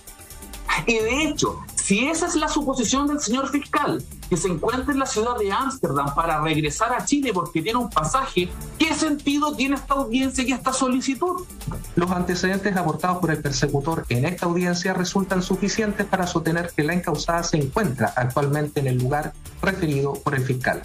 Por estas razones, habiendo oído los intervinientes y atento a lo que previene el 431, inciso final, en relación con el 432, en lo que resulta aplicable, se resuelve que se hace lugar a la petición del fiscal en orden a elevar los antecedentes a la ilustrísima Corte de Apelaciones de esta ciudad, a fin que dicho tribunal, si estimare procedente la extradición al país en que la encausada actualmente se encuentra, ordene sea pedida. Se declara que resulta jurídicamente procedente solicitar en el país extranjero la detención judicial, desde que en este caso esta misma medida ya ha sido decretada por este mismo tribunal, resultando esta medida cautelar idónea para conseguir el fin del procedimiento que no es otro que traer a la condenada a presencia judicial para ejecutar la condena que le fuera impuesta. Detenerla es una cosa, Ahí estaba, es otra. ahí estaba precisamente lo que sucedió el día de ayer en la audiencia, donde el juez de garantía le da el vamos entonces para la detención de Karen Rojo. Sí, se- dos cosas separadas. Se emite la orden de detención internacional y además la extradición. Se comienza el proceso de extradición de Karen. Lo que ustedes veían en la discusión que existía entre el fiscal que dice este, necesitamos que esta orden de extradición se tramite en Países Bajos Y el defensor decía, no, porque ustedes no saben si está allá. ¿Cómo le vamos a pedir un país la extradición de alguien que no sabemos si está allá? Esa es un poquito la línea argumentativa. En términos muy simples, lo que está pasando es que el juez de garantía autoriza la orden de detención, autoriza extradición. En la extradición la conoce un ministro de corte de apelación que le da el visto bueno o la rechaza dependiendo de los antecedentes que tenga. El ministro de corte de apelaciones notifica al Ministerio de Relaciones Exteriores Chile, Ministerio de Relaciones Chile notifica al Ministerio de Relaciones Exteriores en Holanda eh, o Países Bajos y Ministerio de Relaciones Exteriores Holanda notifica a sus tribunales para que los tribunales ¿Cuánto holandeses es eso? la orden de detención. Esto es un ¿Cuánto fax. tiempo es eso? ¿Cuánto se demora? Mucho tiempo. ¿Cuánto se demora en todo ese proceso? Mucho de la tiempo, Alejandro. ha habido casos, eh, incluso por crímenes, caso de el ex senador Jaime Guzmán, que en la Francia se negó a darle extradición. Mm. Es decir, no es automático que se da darle extradición. En una de esas, en- en un país, ella podría quejarse de persecución política, puede armar una causa que demore esto durante mucho tiempo y por lo tanto queda una especie de suspenso que puede durar años en los tribunales. No es, no es tan automático un que la ubicaron arriba del avión y para Chile. En, pri- en principio, en principio, apelando, aplicando, el no hay tratado de extradición de, dólares de- con Holanda o Países Bajos, pero sí vemos principio de reciprocidad cuando tuvieron el problema con Richard Rico, el Ya, chileno que sí, estaba en Chile, que le extraditamos y se lo mandamos a los holandeses para que lo jugara en lo cadena perpetua. eh, lo más probable es que si nosotros le pedimos a alguien a Holanda, Holanda nos lo entregue. O sea, Países Bajos, lo más probable es que va a ser aplicación del ¿Te, principio de te reciprocidad. pareció entendible el argumento del defensor? El defensor decía, no saben si está en Ámsterdam en rigor. ¿Para qué le vamos a pedir a Países Bajos la extradición? Y además, ella tiene un pasaje de vuelta. ¿Qué sentido tiene pedir la extradición cuando tiene fecha de retorno? Es- en es el que- papel. Es que ese es el tema, porque en definitiva tú vas a pedir a Países Bajos la extradición, pero lo que el defensor te está queriendo decir, ella puede estar ahora en España, puede estar en Italia, puede estar en. Francia, dándose una vuelta, puede estar haciendo el tour, el tour Claro. en Europa, y que lo único cierto que sabemos y certero es que el 10 de abril ella tiene un vuelo directo desde el aeropuerto Charles de Gaulle a Santiago de Chile y que por lo tanto cualquier otra inferencia es solamente una presunción, una idea, una elucubración por parte del Ministerio Público. Por lo tanto, su señoría, no haga lugar a estas tonteras, no hagamos el bochorno en Países Bajos, así que mejor no pidamos la extradición de nadie que ni siquiera sabemos si está ahí, no nos consta. Eso te iba a preguntar, Claudio. ¿Y qué pasa, por ejemplo, ya, eh, en este minuto está autorizada la orden de detención y todo eso para Países Bajos? ¿Qué pasa si aparece en Francia? ¿Qué pasa si aparece en Italia o en otro país? ¿Funciona igual o es que- solamente para ese país? Eh, claro, lo que pasa es que efectivamente el Ministerio Público circunscribe todo a Países Bajos. Por lo tanto, la orden de detención y lo que se está tramitando vía Cancillería es para Países Bajos. Y por lo tanto, la alerta roja sigue para toda Europa. Por- eh, pero la orden de detención es solamente para Países Bajos y la extradición es solamente para Países Bajos. O sea, si la llegan a agarrar en Italia, por ejemplo, habría que iniciar todo un proceso de extradición nuevamente, pero ahora señalando a Italia como destino, emitir la orden de detención para Italia. Lo que hace la policía Interpol es básicamente retener al individuo hasta que el país de origen te manda la orden de detención y la extradición. Con la orden de detención ya lo pueden detener jurídicamente y mantenerlo bajo su custodia. Y con la extradición comienzan todo el proceso que puede ser algunas veces rápido y otras veces muy lento. Muy, muy lento. Una consulta, Claudio. Eh, en general, por la experiencia de casos anteriores o experiencia comparada, los países para conceder la extradición basta cualquier delito o, o supone una cierta gravedad de los delitos. el, el- el derecho internacional público exige que se den una serie de requisitos para proceder a la extradición activa, en este caso Chile pidiendo, y para el país requerido. Primero, básicamente el delito tiene que ser también delito en el país donde se está Exacto. pidiendo, tiene que tener una cierta penalidad, en algunos países va variando, pero tiene que ser una pena alta, o sea, no cualquier delito es extraditable, no tiene que ser de aquellos delitos denominados políticos, no tiene que ser aquellos delitos denominados, de les- o sea, hay una serie de requisitos que el mismo Código Internacional establece para los efectos de conceder la extradición a un país solicitante. Mira. En términos generales, con Europa tenemos muy buenas relaciones de extradición y no, hay, no habría ningún problema, salvo con, eh, con Maltita, que Malta nos tiene para el gato. Ahí cualquier chileno que llegue no nos van a, no nos van a entregar. El, el usted juez de garantía aprueba la extradición. Exacto. Pero quien realmente la confirma es la Corte de Apelaciones, Pablo. Sí, la coincidencia, noticia de último minuto, justo estábamos hablando de este tema y se dio a conocer hace pocos minutos que, claro, esta noticia, que la Corte de Apelaciones de Antofagasta finalmente aprobó solicitar a Países Bajos la extradición de la exalcaldesa Karen Rojo. Es importante lo que ustedes señalaban, solamente a lo que respecta a Países Bajos. Si está en otra parte, si está en otro país, se tiene que eh, hacer otra, otra solicitud. Justamente acá sale la, la nota que la resolución del tribunal de alzada deberá ser enviada al Ministerio de Relaciones Exteriores. Lo anterior pidiendo que se practiquen las gestiones diplomáticas necesarias para que el Reino de los Países Bajos otorgue su extradición. Así que, claro, es importante noticia de último momento que se dio a conocer ahora hace poco que se aprobó justamente la Corte de Apelaciones de Antofagasta esta extradición de Karen Rojo a los Países Bajos. Si está en otro país, si está en otro lugar, se tiene que hacer otra solicitud de, de extradición. Ya un poco lo que señalaba el abogado de la exalcaldesa. pues. Ustedes están pidiendo extradición, pero no saben dónde está. Entonces, justamente ahí también hay un poco de, de duda al, al respecto. Pero esa es la noticia de último momento. Muy bien, Pablo. Por lo pronto, atentos a lo que suceda entonces el próximo 11 de abril, si es que se toma el vuelo en la noche, el 10 de abril desde París al aeropuerto de Santiago, si es que llega a abordar entonces este vuelo, este pasaje que compró, que información exclusiva que esta tarde nos ha entregado Pablo Yudrich. Muchísimas gracias, Pablo. Que tenga buenas tardes. Chao, que estén bien. Son las 5.22, hacemos una breve pausa y regresamos de inmediato con más de Hola Chile. ¿Cansado de esos feos atrapa cucarachas, de lidiar con las pulgas de las mascotas y también de los mosquitos? ¿A que se dicen permanentemente? Claro, lo que ¿qué daría yo por encontrar algo que sirva para todas las plagas? Ay, es que es un verdadero problema. Sin duda, ¿acaso nos traes alguna novedad? Juli, atención. Hoy vengo a contarles que Swiss Trading Co. ideó algo que es efectivo para todo. Cucarachas, insectos voladores, pulgas, arañas, incluso para los ratones. Pest Reject se llama. Es un dispositivo que se enchufa a la electricidad y se ocupa para- se ocupa del trabajo sucio, para decirlo de alguna manera, a través de ondas electromagnéticas y de ultrasonido que se reproducen y cubren toda la superficie de la casa. Y cuando digo toda la superficie me refiero hasta el último rincón. Funciona las 24 horas, los 365 días del año y no hacen falta baterías. Lo que más me gusta de Pest Reject es que no utiliza productos químicos ni venenos, o sea que no hay peligro ni para los pequeños ni para las mascotas. Esa es una gran ventaja. Toda la razón. Si ustedes también están interesados en decirle basta a los insectos y a las plagas, marquen ahora el número que aparece en pantalla. Si llaman ahora, obtendrán un 30% de descuento, pero esperen unos segundos más. Y para que todos tengan la misma oportunidad, les doy tiempo para ir a buscar sus teléfonos. Los primeros 50 llamados obtendrán un 2 por 1 Y si pagan con su tarjeta, como ya saben, el regalo especial de la semana, esta increíble tabla multifunción. Sí que esperan para llamar ahora mismo al 2271 2885 5.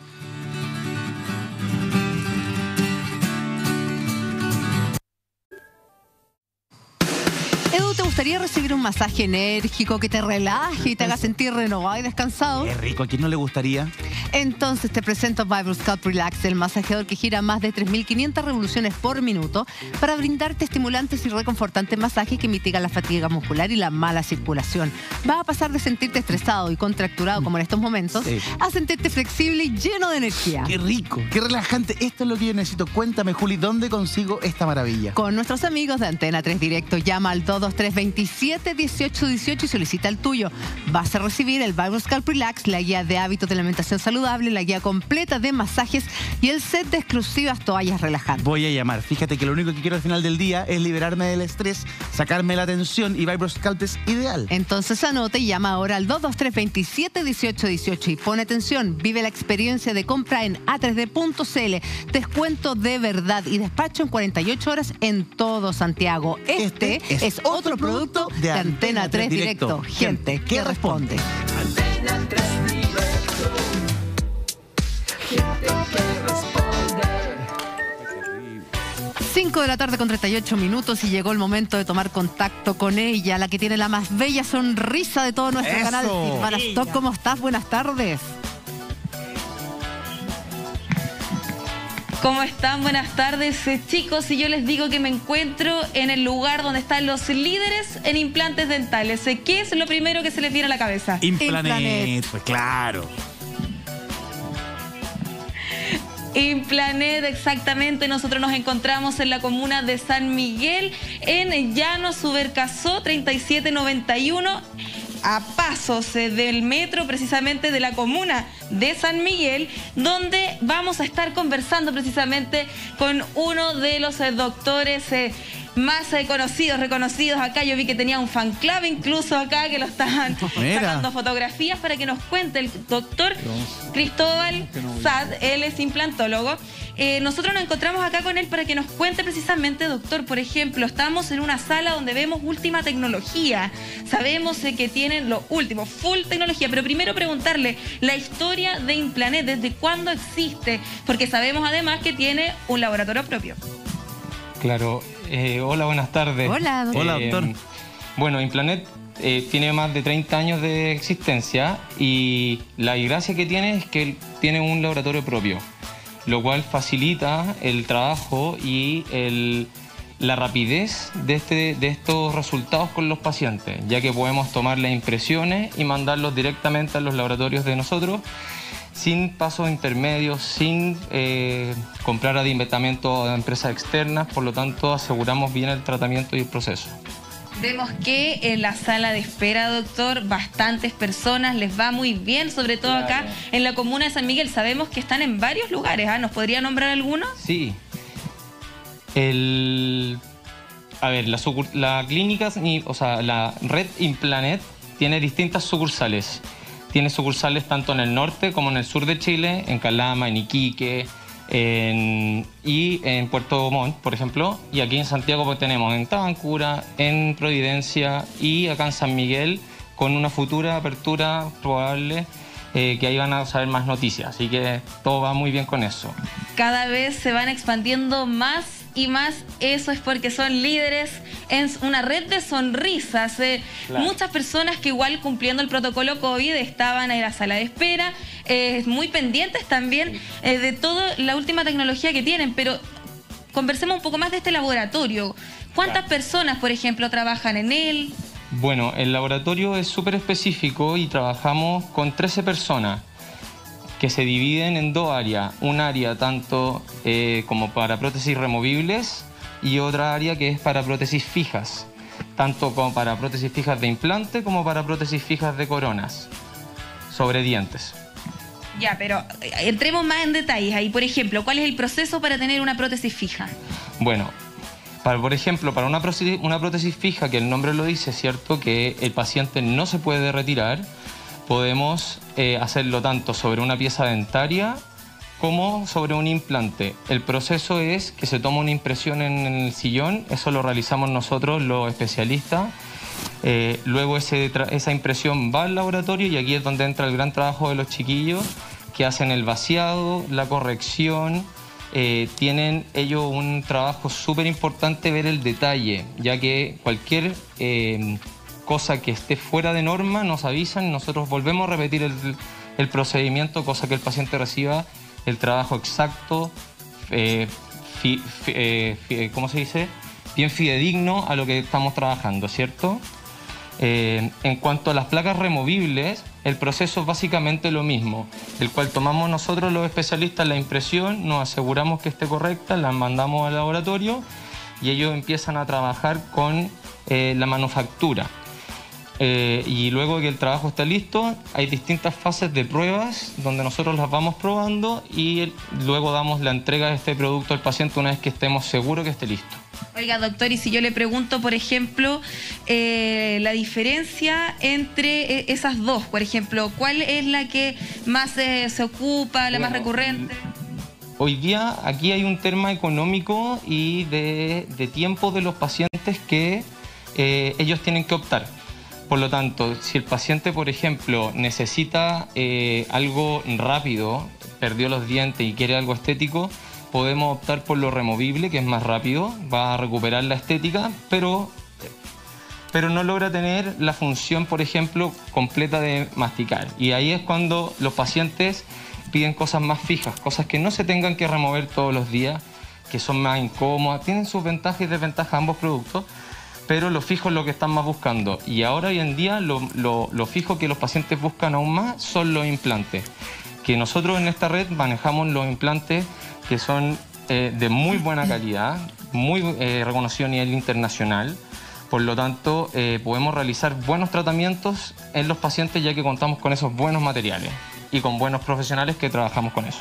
Perfecto, muchas gracias, doctor. Yo cuando comencé este despacho les dije en qué comuna estaba. Así es. Les dije incluso el metro que tenía el Oh, mismo nombre, que está muy todo. cerquita de acá de esta sucursal. Espero, lo dije todo, Edu. Espero que se acuerden en sus casas. ¿Tú sabes por qué? Silvana, yo te quiero decir que hay gente que incluso antes de hacer la pregunta ya nos está respondiendo. Y yo les digo que el concurso es desde ahora. Tienen que responder en Twitter usando el hashtag Implanet en Hola Chile. Está saliendo ahí en pantalla. La pregunta que es muy simple. ¿Qué sucursal de Implanet estamos visitando el día de hoy con el móvil de Silvana Stock? ¿Ah? Es Súper fácil. Fácil, podríamos musicalizarlo con San George Michael. ¡Eso! O con San Michael Jackson. Sí. O con San Miguel Piñera. O los prisioneros. Vino Miguel hoy día, ¿no? Vino Miguel. Miguel San y Miguelito, saludos. A saludo a Miguelito. Ahí Sí, está. po. Eso todo cuánto podemos soplar. Oye, ojo, las dos primeras personas que respondan se ganarán, que respondan correctamente, se ganan un programa dental de un millón y medio de pesos cada uno. Ah. Así Se es que está planteado ahí. Un millón y medio de pesos cada uno, los dos primeros que respondan correctamente, o las dos primeros que respondan. Oye, ¿Bien? se pasaron. Listo, Silvana, te luciste muy bien. Al doctor también un abrazo gigante. Más de a toda la gente del planeta. 35 años de experiencia, lejos los mejores. Así que gracias por esta noticia, por el concurso. La producción se va a contactar con los ganadores. Silvana, te mandamos un beso. Gracias, doctor, por haber estado con nosotros. Chao, que estén muy bien, Gracias. chiquillos. Chao, chao, gracias. Oye, sí, de Nos vemos. De Implaneta en San Miguel nos vamos a. Pero dijiste la respuesta. Oh. Me lo gané un millón y medio. Vamos a Europa. Está el Nico Muñoz. Está el Nico Muñoz. Eh, ¿Sigue en Francia el Nico Muñoz? Sí. Oye, día agitado. Segundo día de juicio en el caso de Narumi Kurosaki. Nico, ¿qué, qué es lo más eh, relevante que hemos conocido en las últimas horas? La verdad es que son eh, antecedentes bien reveladores y bien, bien tristes de cómo, de cómo era incluso la relación entre Nicolás y Narumi. ¿Cómo está Eduardo? No te alcancé a escuchar lo último, pero claro, ha sido una jornada bien, bien, bien difícil la que se ha vivido hoy día, muy intensa. Comenzó a eso de las 9 de la mañana y terminó también a eso de las 8 de la noche en una jornada que podríamos decir hecha por tierra más o menos la, todas las declaraciones, el perfil psicológico que se había armado sobre Nicolás Cepeda cuando él hablaba, cuando hablaba su padre y, y Nicolás Cepeda rompía en llanto, con las cartas de las hermanas, con las cartas de los amigos. Lo trascendental hoy día tiene que ver con la declaración del policía que llevó a cabo la investigación que da cuenta de pruebas que son bastante eh, contundentes que obviamente este jurado va a tener que evaluar en estas dos semanas que todavía quedan de juicio. Pero por ejemplo se da cuenta de que habría algunos mensajes de que Narumi habría estado embarazada en algún momento. No está clara cuál es la fecha de ese embarazo, pero la investigación de los mensajes eh, de, por medio de WhatsApp, por medio de telefonía, por parte de Skype también, entre Narumi y Nicolás Cepeda, tiene que ver con que ella estaba embarazada y ella le reprochaba incluso cierta poca conciencia afectiva que la quería a ella solo para tener relaciones, un poco echando por tierra además la relación que ellos habían tenido. Hay algunos antecedentes claves que da a conocer este policía que estuvo desde la una de la tarde hasta las 8 de la noche, con algunas interrupciones, obviamente declarando y luego respondiendo las preguntas de, la fiscalía y de los distintos abogados. Obviamente la familia de Nicolás Cepeda trató de desacreditar la investigación. Lo primero porque él habla de unos videos que eh, darían cuenta de un hombre sospechoso, incluso merodeando las cercanías de esta residencia desde el primero de diciembre, lo que va a coincidir además, sea coincidencia o no, con la geolocalización de Nicolás Cepeda, del auto que él había arrendado y también de los movimientos de su teléfono móvil. Hay enojo por parte de la defensa porque dicen que estas pruebas no estarían en la carpeta investigativa, pero lo que dice el, el, el policía que llevó a cabo la investigación y los abogados creyentes es que esto sí era parte de la carpeta investigativa, que es gigante de todas maneras, pero esto estaba hace meses en la carpeta investigativa. Se presumía que se iban a ver hoy, pero no alcanzó el tiempo por la declaración de este policía que yo les decía llevó a cabo la investigación. Se espera que sea mañana. Se espera que sea mañana, además, cuando vuelva a hablar de hecho Nicolás Cepeda, pero hay otros datos bien reveladores. Por ejemplo, en septiembre de 2016, luego que habían eh, terminado unos mensajes muy, muy amenazantes de Nicolás Cepeda contra Narumi Kurosaki. Principalmente hablaban de la traición a su confianza y que ella tenía que aceptar ciertas condiciones para que él tuviera pudiera perdonarla en la línea, además de este video que sabemos que se ha conocido y que también daba cuenta el policía en esta investigación. Además, otros datos bien reveladores. En diciembre de 2016, fecha que coincide con la desaparición de Narumi, él se da cuenta de la compra de un pasaje de, de tren. Este pasaje de tren de Besançon, de donde estamos ahora, hacia Lyon. Después les voy a decir por qué es importante Lyon en toda esta, en toda esta trama. Es una compra de este pasaje de Besançon a Lyon comprada con la tarjeta bancaria de Narumi. Sin embargo, la investigación, la geolocalización da cuenta que en el lugar donde se compró estaba Nicolás Cepeda. Y hay otra re- revelación muy importante que hace este policía, es que el, entre el 10 y el 11 de diciembre, cuando ya Nicolás Cepeda no estaba eh, en Besançon, había salido primero a Suiza y después a Barcelona, cuando estaba Nicolás Cepeda en Barcelona, hay un ingreso a la cuenta de Facebook de Narumi Kurosaki en una IP rastreada, de hecho, en Barcelona. Así que Nicolás Cepeda, según lo que plantea este policía, habría entrado a la cuenta de Narumi Kurosaki, eh, a su cuenta de Facebook, lo que da cuenta también de lo que se había hecho en los últimos días, de que había algunos mensajes que llamaban mucho la atención de Narumi, que no estaban bien escritos y se presumía que Nicolás Cepeda los había enviado en su nombre. De hecho, esto está muy concaneta- eh, conca- concatenado con las declaraciones de los testigos eh, de la mañana, porque, por ejemplo, en la- habló su profesora de francés, el Instituto de Lengua Aplicada, donde tuve la oportunidad de ir. De hecho, hoy día eh, su profesora, la que fue su profesora de francés en este instituto, dice que los mensajes que ella pudo leer, que tuvo acceso a leer, tenían errores que no eran comunes de una estudiante japonesa que está tratando de aprender francés. Hay otra, otra declaración que da cuenta que ella faltaba muy poco a clases y que claro, en ese momento se abre la alerta y otro policía, por ejemplo, el, el perdón, el, no, no policía, el encargado de la seguridad de la residencia donde estaba Narumi, él dice que cuando llega a su pieza estaba todo muy ordenado, lo que da cuenta, eh, echa por tierra también otras cosas, porque se sabía que ella era una joven muy desordenada, entonces sorprende mucho que al entrar a su pieza, a unas dos semanas más o menos de reportar esa desaparición, esa pieza estaba muy ordenada, estaba todo en su lugar, y es como cualquier día que ella se hubiese ido a las clases. Es más o menos eso, es lo que se vivió hoy día, una jornada bastante extensa, 11 horas, donde, insisto, como yo les decía, el perfil, lo que, se tra- lo que trató de hacer la defensa de Nicolás Cepeda a través de su abogada, que sabemos había sido la abogada del expresidente francés Nicolás Sarkozy, parece echarse por tierra. Eso es más o menos el ambiente general que se vivió, pero queda mucho juicio por delante, quedan aproximadamente dos semanas y obviamente vamos a ir sabiendo detalles de este juicio que la verdad es estremecedor cuando se da cuenta de los detalles que se puede haber sabido y además, eh, no hay que dejar de mencionarlo, el sufrimiento de la familia de Narumi. Es, acá está su mamá y está su hermana representadas por su abogada, pero ellas son japonesas. Ella, ellas no hablan el idioma, ellas le tienen mucho miedo al asedio periodístico. De hecho, uno trata de, obviamente, ser lo más cauteloso posible. Primero, porque están enfrentando una pérdida y no han podido encontrar a su hija y a su hermana desde diciembre de 2016. Se da cuenta el que el principal sospechoso incluso se habría hecho pasar por ella cuando ya no sabíamos nada de ella. Y es muy sensible, la verdad, la, la realidad que está viviendo la familia de Narumi Kurosaki, principalmente su mamá y su hermana que están aquí. Alejandro. Sí, te- quería hacer una consulta, estimadísimo colega, y usted está en el lugar del proceso, ¿no?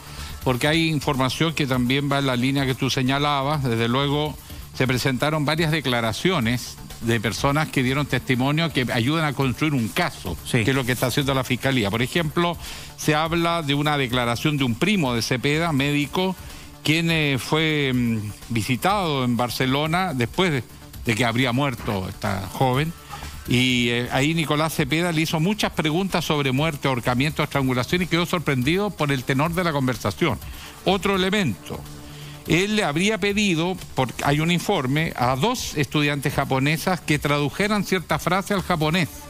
Y con esas mismas frases aparecen los mensajes que él introduce desde el teléfono de la chica, eh, donde ella supone que está viva y que está tomando de Claro. ciertas decisiones de pareja y cosas. Claro. Pero no articulan bien, por lo tanto no están bien escritas en japonés. Exacto. Algo que Narumi no había hecho. Sintaxis. En consecuencia, es obvio que no la redactó ella y en eso avala la profesora que acá se menciona, en el sentido de que se dice eso no es, eh, no tiene coherencia y bueno, hace la crítica. Y después, bueno, él le pide a estas ja- chicas japonesas que le habían ayudado a, re- a- a elaborar esta frase, que por favor borraran lo que él les había pedido y lo que ellas le habían dicho en sus respectivos teléfonos, chat, en fin, porque eso lo podían usar en contra de él y pe- empezar a sospechar que algo tenía que ver con la desaparición. Exacto. Entonces se va dando un caso donde la fiscalía está claramente apuntando, pero cada afirmación que hacen es una historia que está construida sobre la base de evidencias, no es una mera especulación. A eso, a eso hay que agregar un, un- un dato que Nico lo decía. Eh, hay una transacción bancaria con una tarjeta de Narumi em, que se logra corroborar que Narumi no estaba ahí, sino que era Nicolás Cepeda quien Es estaba que, utilizando claro, el- la triangulación. Lo que pasa es que hoy día conocimos más detalles de algo que veníamos hablando hace mucho tiempo, que era el tema de este pasaje, que cuando ingresan a la habitación de Narumi no había, no estaba la billetera. Exacto. Eh, y lo que dice Alejandro tiene mucha razón, Nico, ¿por qué? Porque eh, según entiendo, hoy día también se dio a conocer que el primo de Nicolás Cepeda, que es médico y que vive en Barcelona, eh, primero da una versión cuando lo van a preguntar y después cuando se empieza a dar cuenta que su primo podría estar involucrado y que es sujeto de derecho, él empieza a contar todos los detalles de estas preguntas extrañas que le dice, de la insistencia, de que sus familiares no se enteraran de que él había viajado a Europa o que estaba en Barcelona. Él, eh, en el primer momento, Nicolás le niega absolutamente que él ha viajado a Francia y mucho menos a Besanzón y que no ve a Narumi hace mucho tiempo. O sea, son varias las cosas que le empiezan a generar ruido y que finalmente entrega esa información a la policía, Nico. Sí, sí, pero de hecho no es un dato revelador, eso ya se conocía, ya estaba eh, en conocimiento aquí de, de las partes, pero claro, va formando una pieza más de este puzzle que yo ayer les decía, todavía quedan muchas más preguntas que respuestas, de hecho hay un símil ahí con el caso de Karen Rojo, muchas más preguntas que respuestas de todas maneras, pero lo que, lo que queda claro, y yo les decía, ¿por qué es importante León? Porque Cedric Castor es el director administrativo de la universidad donde estudiaba Narumi Kurosaki. Él se habría enterado por parte de algunas compañeras, de algunas amigas, que les había dicho que tenía que ir a León por un problema con su pasaporte. Exacto. En circunstancias de que ella, a la visa que se había emitido, no se había emitido en León, sino que en Estrasburgo. Así que hay obviamente una pieza que no calza. ¿Por qué tendría que ir a León a arreglar algo con su pasaporte, con su visa, cuando sabemos que lo había tramitado originalmente en Estrasburgo?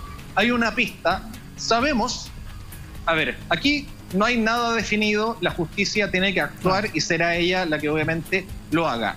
Por ahora Nicolás Cepeda no es inocente ni es culpable, está siendo investigado. Si llegas a hacerlo, sabemos que no es un crimen perfecto, porque hay cosas que, por ejemplo, tarjetas, eh, compras con tarjetas, que son muy sospechosas y que de hecho a la investigación del policía que hoy daba cuenta, eh, no le cuadraban, porque por ejemplo, él compra fósforos, él compra detergente y él compra además un líquido acelerante, una gasolina. Hay ciertas explicaciones que dio Nicolás.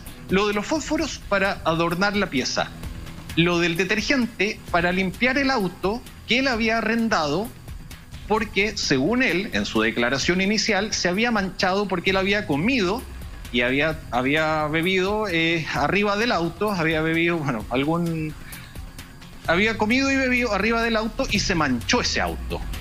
Y en la, La explicación que da es que él compra este detergente para limpiar el auto que había arrendado. Y la declaración que hace más ruido es por esta compra de combustible, 5 litros. Lo que él dice, Nicolás Cepeda en su momento, es que él cuando trabajó en Estados Unidos siempre sabía que tenía que andar no específicamente con el líquido del combustible, sino que con el balón, eh, el, el recipiente del combustible en caso de que se quedara en pana, alguna cosa. Lo relevante para él era obviamente el continente, el envase del combustible y obviamente no estos 5 litros de combustible que compró, lo sabemos, con esta tarjeta de crédito que levanta muchas, muchas sospechas. Nicolás, para entenderte bien, porque, o sea, tú dices que él solamente compró el combustible por el envase para andar con el bidón Con el de bidón. parafina si y no con la parafina que Claro, tenía adentro. Era como que la parafina la iba a botar y adentro iba a tener, iba a llenarla de combustible para andarla trayendo por si acaso. ¿Eso? Claro, esa es la explicación que da inicialmente y lo que obviamente despierta todas las alarmas y las alertas del policía que está investigando, que vale la pena decir, la, eh, la defensa de Nicolás Cepeda se encargó de, de tratar de atacar, que eran pruebas que supuestamente no estaban en la carpeta investigativa y de que de alguna u otra forma trataba de desacreditar la investigación del policía. Que de hecho iba a declarar otro policía además de este, pero se acabó el tiempo. Eso de las 8 de la noche ya era demasiado, había comenzado a la 1 y cuarto de más de 7 horas. Bueno, con algunas interrupciones, con algunos recesos, pero había estado aclarando todo y eso se aplaza para mañana. Nico, eh, hay, hubo también una polémica por un video, eh, la defensa de Nicolás eh, no quería que se mostrara, eh, hay más detalles que analizar de lo que sucedió hoy día, vamos a estar con Carlos Gutiérrez analizando todas las pruebas y toda esta investigación que hizo este policía también con Claudio, pero son las seis en punto, tomamos contacto con la redacción y regresamos de inmediato contigo.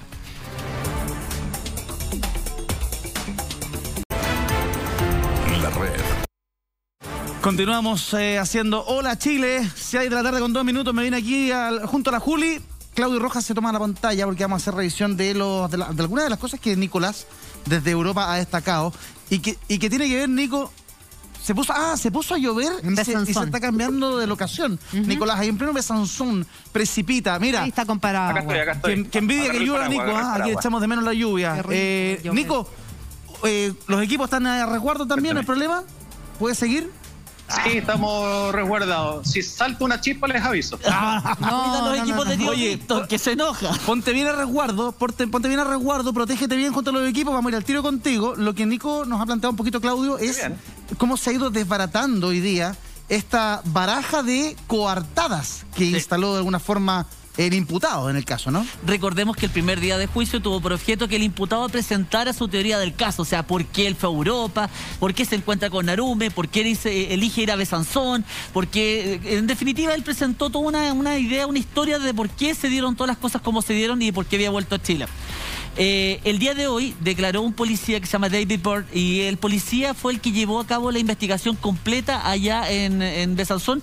Es el policía que más sabe, es el que de- realizó materialmente las pesquisas. Ahí me voy a apoyar un poquito en Carlos con Blue Star, revisó la habitación, buscó a Narumi, empadronó a los testigos, eh, tomó declaración a Arthur del Piccolo. O sea, es el que más sabe de todo. Por eso es que la declaración de él fue tan completa y se demoró casi 11 horas más o menos declarando, con las interrupciones correspondientes.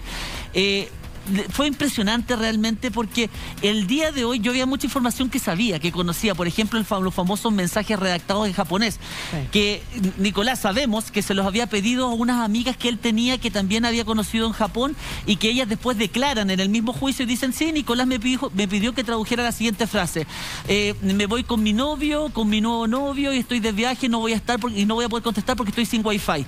Y él pidió que se las tradujera a estas amigas básicamente porque necesitaba como un japonés más coloquial, un japonés más, más habitual y no ese japonés tan, tan, tan cuadrado que él había aprendido y que en definitiva el que le entregaba el, traductor de Google. La amiga accede, le, tra- le traduce todo esto y curiosamente luego el policía los publica, los pone en la pantalla y aparece en la, en la pantalla eh, mamá, me voy con mi nuevo novio, que tú ya... Y de hecho, la mamá leía estos mensajes y decía, pero qué extraño, porque él lo que no sabía Nicolás es que ya ella, la familia de Narumi, ya conocía a Artur del Piccolo.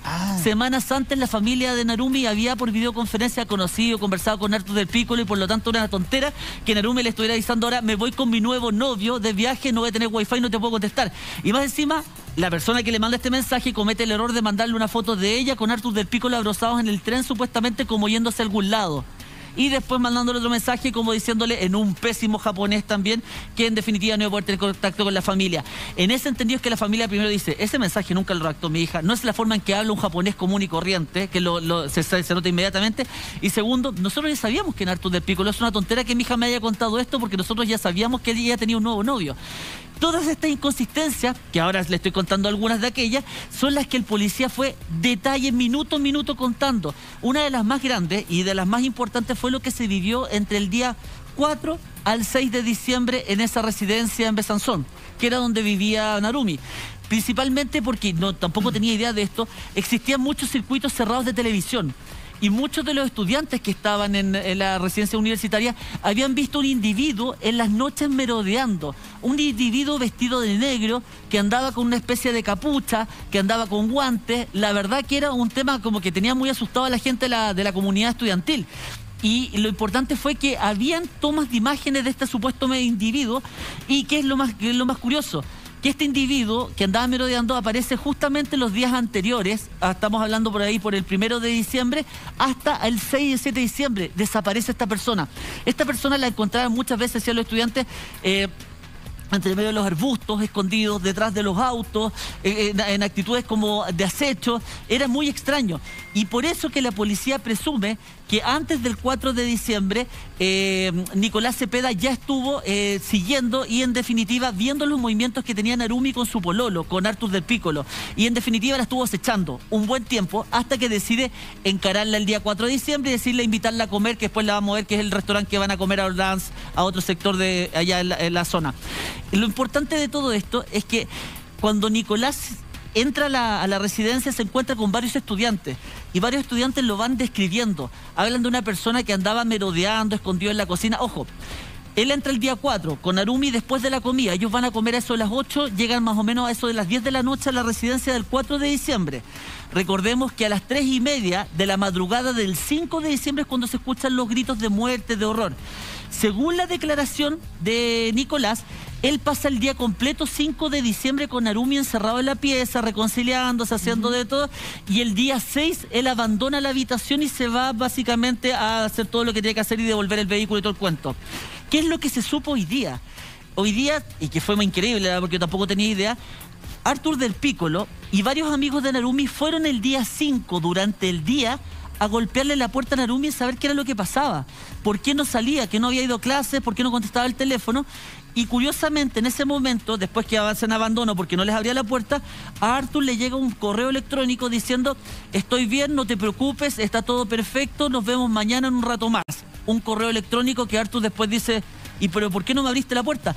Porque estoy con mi antiguo novio y no te puedo ver y de cuestión. Y supuestamente que, que es lo extraño, Arthur del Piccolo como que entra en colapso y dice, pero ¿cómo estás con tu nuevo novio? ¿Qué pasó? No, después te explico, pero tuve que, eh, estoy reencontrándome con mi antiguo amor, una cosa así. Y esa conversación descoloca mucho a Arthur del Piccolo, ojo, día 5, día 5 donde supuestamente nadie sabe nada, y en ese día 5 concretamente se, se habla por el estudiante que una persona que estaba escondida entre medio de las escaleras, que lo encontraron unos estudiantes, y hablan de una persona con actitud latina, con aspecto Hispana. latino y otra estudiante que se lo encontró en la cocina, la cual casi que le dice como que Nicolás le anduvo como flirteando un poco, o sea, se anduvo haciendo el lindo con ella. conversó, ¿ah? Conversó, haciéndose el lindo con un eh, inglés americano, porque ellos se diferencian mucho entre el inglés británico y el inglés americano. Entonces, todos estos antecedentes le dan a entender a la policía que Nicolás se movió dentro de la residencia y logró entrar y salir muchas veces sin que nadie lo percatara. Y las veces que fue visto, se intentó esconder bajo la escalera, se intentó esconder en algunos lugares, pero igual fue visto. Que lograron determinar también con el circuito cerrado de televisión que eventualmente entre el día 5 y el día 6 puede ser que Nicolás haya trasladado el cuerpo de Narumi sin que ninguna cámara lo viera o teniendo, porque él fue muy inteligente. Se fue fijando pasillo por pasillo donde habían cámaras, las entradas que habían, por dónde podía salir. De hecho, estuvo viendo también cuáles eran los horarios de los estudiantes de entrada y de salida. Entonces se presume que eventualmente entre el día 5 y 6 podría haber hecho el, el- el haber sacado el cuerpo de Narumi desde la habitación para haberlo trasladado a su vehículo. En, de hecho, en el, en el estacionamiento hay grabaciones que están ahí un poquito contradictorias respecto, hay inconsistencias respecto a los vehículos. El que arrendó él, que se confunden con otros vehículos muy parecidos que llegan a la residencia y que eventualmente el policía dice, acá En alguno de estos momentos es cuando efectivamente Nicolás sale con el cuerpo de Narumi en su vehículo con un destino desco- desconocido para deshacerse de él. Y eh, bueno, básicamente es eso, o sea, a grandes rasgos, el policía fue punto por punto destruyendo cada una de las teorías que presentó Nicolás el día anterior. Claudio, hablemos del contexto previo de esta relación, porque algo habíamos visto durante el tiempo. Habíamos visto un video, habíamos visto un video en donde él le pone estas reglas para que vuelvan, pero este policía que declara hoy día va mucho más allá y presenta la posibilidad de que mm, Narumi haya estado embarazada. Exacto. Cuéntanos un poco, por favor, respecto a aquello. A ver, les voy a ser bastante sincero. Entre el mes de septiembre, que es cuando eh, Nicolás está acá en Chile y se entera que Narumi había iniciado una nueva relación, él entra como en pánico, comienza a atacar a Narumi y ahí vienen los casi 970 y tantos correos que tiene con Narumi y además de eso, muchos mensajes de videollamada y es también el periodo donde ustedes ven en la llamada famosa o el, video que graba, que sube a las redes sociales diciendo que ella cometió un grave, un- un grave atentado contra la relación, que eso no se le hace a la gente que uno ama y como que la amenaza y que debe pagar por lo que hizo. ¿Ya? En ese periodo, entre esos 900 y tantos mensajes que fueron interceptados y que tenía la policía en Francia, eh, yo pensé que ellos habían conversado que eventualmente, tal vez por alguna relación sin cuidado o algo, eh, podría haber existido un riesgo de embarazo. Pero esto fue mucho más allá. Realmente, según la declaración y lo que vamos a leer ahora, Narumi reconoce haber estado embarazada cuando llega a Francia. Y, en definitiva, le dice o le carga a él la responsabilidad de que su poca responsabilidad afectiva, porque ella dice, me usaste, me embarazaste, y en pocas palabras, tú no te preocupas de nada, y la que va a tener su cuerpo destruida y la que tiene que hacerse cargo de todo esto soy yo ahora sola. O sea, esto yo pensé que había sido solamente una lucubración respecto a algunos mensajes que se podría haber entendido y no. Claramente Narumi reconoce haber estado embarazada cuando llegó a Francia. Y eh, lógicamente quien eh, eh, em, cuando ella va a Francia había estado en Japón con Nicolás. Y por lo tanto, supuestamente esa relación con Nicolás mientras estaban en Japón es que ella llegaría em- embarazada a Francia. Y ahí también viene todo esto que vamos a leer ahora. A las 10-15 horas de Sansón, Nicolás esto es lo que se puede leer de los correos que fueron interceptados. Nunca olvidaré que me dejaste embarazada. Nunca sentiste ninguna responsabilidad por este embarazo. Puedo concluir que eres un imbécil. Estos son los correos que le mandaba Narumi a Nicolás que no se desconocían, que hoy día se han liberado para ser parte de prueba de juicio. Narumi le dice, eh, él dice, Nicolás le dice, lamento que pienses de esta manera. Y Narumi le dice, vas a lastimar mi cuerpo. Tomaste el futuro de mi bebé y no sientes la responsabilidad por todo lo hecho. Y seguía un poquito más, la verdad, era mucho más, más complejo lo que le decía Narumi, porque eh, sentía que en definitiva Nicolás no estaba haciendo nada y que ella era la que tenía que hacerse cargo de todo. Es más, lo amenaza con que lo va a demandar. Eh, ¿sí ¿Viene el otro? Ah, ya, listo. Aquí seguía la conversación. Nicolás Cepeda le dice, no quise lastimarte. Te tengo amor porque te amo. Narumi. Narumi le dice, deberías ser responsable de mi cuerpo para siempre. Nicolás le responde, nunca lo llevaste al médico. Recuerda, te dije que fueras a ver a un médico. Y Narumi le responde, me dejaste embarazada.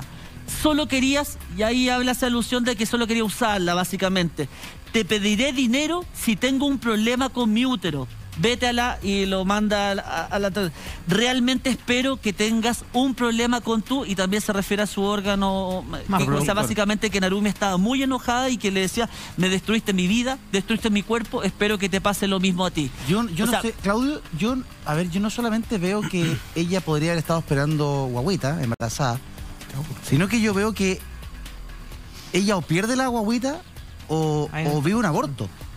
Eh, no sé si él tendrá incidencia en esa, en esa decisión, en esa experiencia, pero yo veo que no solamente ella está esperando guagua, sino que además pasa por la experiencia traumática de hacerse un aborto. Absolutamente. Eh, Narumi lo que le reprocha mucho es su falta de responsabilidad afectiva respecto de ella y de cómo cuidarla. Eh, recordemos que Narumi en esta etapa, cuando llega a Francia en la primera etapa, supuestamente, según estos correos, habría llegado embarazada. Lo más probable es que haya realizado un aborto para perder. Y luego de eso, ella reinicia su, su relación sentimental con Arthur del Piccolo. Pero eh, esto era totalmente desconocido. Siempre se presumió que eventualmente podía, pero nunca pensé que era tan cierto. O sea, Narumi da por un hecho de que ella estaba embarazada de Nicolás y tal vez ese embarazo o, eh, o esa interrupción del embarazo es lo que motiva, lo que gatilla que Nicolás parta tan raudamente a, a Francia para poder encontrarla y ver qué fue lo que pasó. De, de hecho, yo quiero complementar un, un audio que es, perdón, un mensaje de texto que también se hizo conocido el día de hoy, un, un- un mensaje que Cepeda le envía a Narumi. Eh, dice, ¿por qué te fuiste a vivir a Francia? No puedo comprobar lo que estás haciendo. Quiero matarte. Te amé y me arrepentiré de amarte. Ese es el mensaje de texto que le envía Cepeda a Narumi, está en el expediente, obviamente cuando eso se sabe, eh, la defensa ya se empieza a caer todo porque son, ya hay una amenaza de muerte explícita y directa hacia, hacia la víctima de este mensaje de texto. Y es más, tal como decía Claudio recién, eh, este policía empezó a explicar todo, hizo una narrativa eh, completa y dentro ah, eh, de las evidencias que ya sabíamos hace mucho tiempo, las cosas que había comprado y que las explicaciones fueron ridículas por parte de él, quien compró una caja de fósforos para donar su cocina, ya eso, esa fue la respuesta de él. También hay un detalle muy importante. Él menciona que él duerme dentro de iglesias durante la noche y el policía llega con los certificados que las iglesias durante la noche están cerradas. Y le preguntan a eh, eh, Cepeda por qué cuál- por qué hay una contradicción acá y dice, ah, perdón, sí, me equivoqué, es que no, no era tan adentro de la iglesia que dormí, sino que afuera, y empiezan todas las contradicciones. Hoy día fue un día de contradicciones para él. Pe- pe- 30 segundos ahí. ¿Por qué, era, ¿Por qué está esta contradicción? Lo que pasa es que recordemos que Nicolás llega a, a, mm, ¿cómo se llama? Antes de ir a Besanzón estuvo él... En Lyon. ¿En Di- en No, Dijon? En Dijon. Dijon. Y de Dijon a Besanzón, para que se haga una idea, son como 100 kilómetros más o menos de distancia. Su lugar central estaba en Dijon y él iba a Besanzón a básicamente a seguir a Narumi. Y los días que se quedaba donde Narumi no tenía un domicilio fijo. Entonces todo el mundo le preguntaba dónde te quedas. No, y ahí sale con el tema de que se quedaba en iglesias o dormía en el auto. Pero él lo que realmente estaba haciendo esas noches era seguir a Narumi completamente desde las 24 horas del día. ¿Por qué? Porque estaba haciendo un patrón de la conducta de Narumi con Arthur del Piccolo para saber, según los policías, eventualmente cuál hubiese sido el mejor momento para atacar. Eh, nadie sigue a una persona cuatro o cinco días entre medio de los arbustos, escondido en los autos. le estaba haciendo un seguimiento profesional para los efectos de saber cuáles eran los días que tenía clase, las horas en que llegaba a la residencia. Y entonces ahí está el problema. Como no estaba en un hotel, no estaba en nada, y ahí viene toda la explicación: que él dormía en el famoso auto, que él a veces se quedaba en las iglesias, y, y que nadie le pregunta, pero si tenías plata para un hotel o tenías tu residencia del otro lado, ¿por qué no te ibas a quedar allá? No, y ahí comenzaba con la cuestión que se comienza a contradecir solito. ¿Por qué? Porque no tiene cómo justificar esos días que estaba siguiendo Narumi en la calle. Que él dormía en la calle básicamente por, por servir a Narumi en sus salidas nocturnas también con Arthur y con sus amigos. De hecho, es más, eh, hay antecedentes que, que lo entregó el policía también, que trabajó muy en conjunto con la policía japonesa, con los, los encargados de la universidad, los servidores y los computadores de allá, porque detectaron más de 58 ingresos eh, utilizando una cuenta de Narumi para espiar y ver los antecedentes de eh, Arthur del Piccolo y de hecho hay 128 visitas o conexiones hacia la página de Facebook de Arthur del Piccolo para ver cuál era el movimiento que había, habría hecho Cepeda. Entonces, ya hay evidencia física, certera, mensaje de texto, toda la información que se aportó el día de hoy y que va a seguir mañana, empieza a derrumbar un poco el castillo de naipes que presentaron ayer la familia, que le, rezaba a Santa Teresita y bla, bla, bla. Parece que no era tan así. Cuando, cuando ayer le decía que lo amaba, que hasta el día de hoy la amaba y que estaba preocupado la familia, con todo lo que se presentó hoy día, se cae por tierra esa, esa carta de, de Cepeda. No, y lo que llama la atención de la declaración del policía hoy día es lo bien investigado que todo, porque a partir de duermo en la iglesia, la iglesia está encerrada, eh, yo no hice esto, eh, te conectaste en Barcelona y entraste al perfil de Narumi a través de este IP, o sea, tenían todo muy eh, contrastado con las versiones que, las pocas versiones que había entregado antes del juicio, digámoslo. Sí, yo creo que, y lo conversábamos el, el día lunes, y lo hemos conversado con Claudio igual, que para que un ministro de la Corte Suprema acá haya aceptado la extradición es porque el Ministerio Público francés presentó todas estas pruebas aquí en Chile. Y, el, y el- el ministro aceptó, de la Corte Suprema, aceptó de inmediato la extradición. Él, él entendió que hay suficientes medios de pruebas para eh, aseverar que Cepeda está involucrado y que merece presentarse en un juicio para dar explicaciones y que la, que la justicia eh, actúe. Y es lo que estamos viendo el día de hoy. El, juez no estaba equivocado, el ministro chileno, y ahí están los medios de prueba que se están presentando. Eh, hemos visto imágenes del sitio del suceso, que eh, son bien llamativas, no solamente por el lugar, por lo que nos ha explicado Claudio y Carlos, sino porque hasta el día de hoy el sitio del suceso está exactamente igual que hace cinco años. Eh, hemos visto casos en Chile en que los sitios del suceso son contaminados. Los sitios del suceso en nuestro país eh, simplemente cualquiera puede entrar. Y allá, hace cinco años, el lugar está intacto. ¿Por qué? Carlos, Claudio nos explican toda la vuelta de la pausa. ¿Cuántas veces uno se propone pintar la casa, una habitación o incluso algún mueble y después se arrepiente? Pensamos en todo, pues, Julio. Oye, los maestros, después uno saca cuenta y dice, no, tengo que pedir un préstamo para contratar a los maestros para poder comprar la pintura para todo. Bueno, eso hasta ahora, porque hoy día les vamos a contar sobre un producto de Swiss Trending Co. que permite pintar sin contratar pintores y sin ensuciar ni gastar una fortuna. Se trata de Paint Blast 4x4, que es un sistema revolucionario de pintura con rociador que ya está en nuestro país. Es ideal tanto para pintar superficies grandes o pequeñas y con una sola mano de pintura es suficiente para obtener resultados profesionales y en tiempo récord. Paint Blast 4x4 tiene una tecnología de rociado 360 con patrón horizontal o vertical para poder pintar cualquier tipo de superficie. Incluso viene con luz LED, así hasta los rincones nos van a quedar prolijitos. El secreto está en su motor de turbina HVLP de 600 watts que garantiza una cobertura máxima, por lo que una sola mano es suficiente. Si tienen ganas de pintar, apúrense y llamen ahora al teléfono que está en pantalla y consigan su Paint Plus 4x4 a un precio de lanzamiento súper especial. Además, van a recibir un contenedor extra grande de almacenamiento, un densímetro para poder usar cualquier tipo de pintura, más tres perillas para cualquier tipo de rociado Y lo que la Juli está esperando, y todos ustedes en sus casas también, nuestro especial de esta semana. Pero, mira, para los que pagan con tarjeta de crédito, esta semana de regalo, una tabla multifunción de Swiss Trading Co. totalmente gratis. Llamen ya al 2-315-0189 y a pintar como un profesional.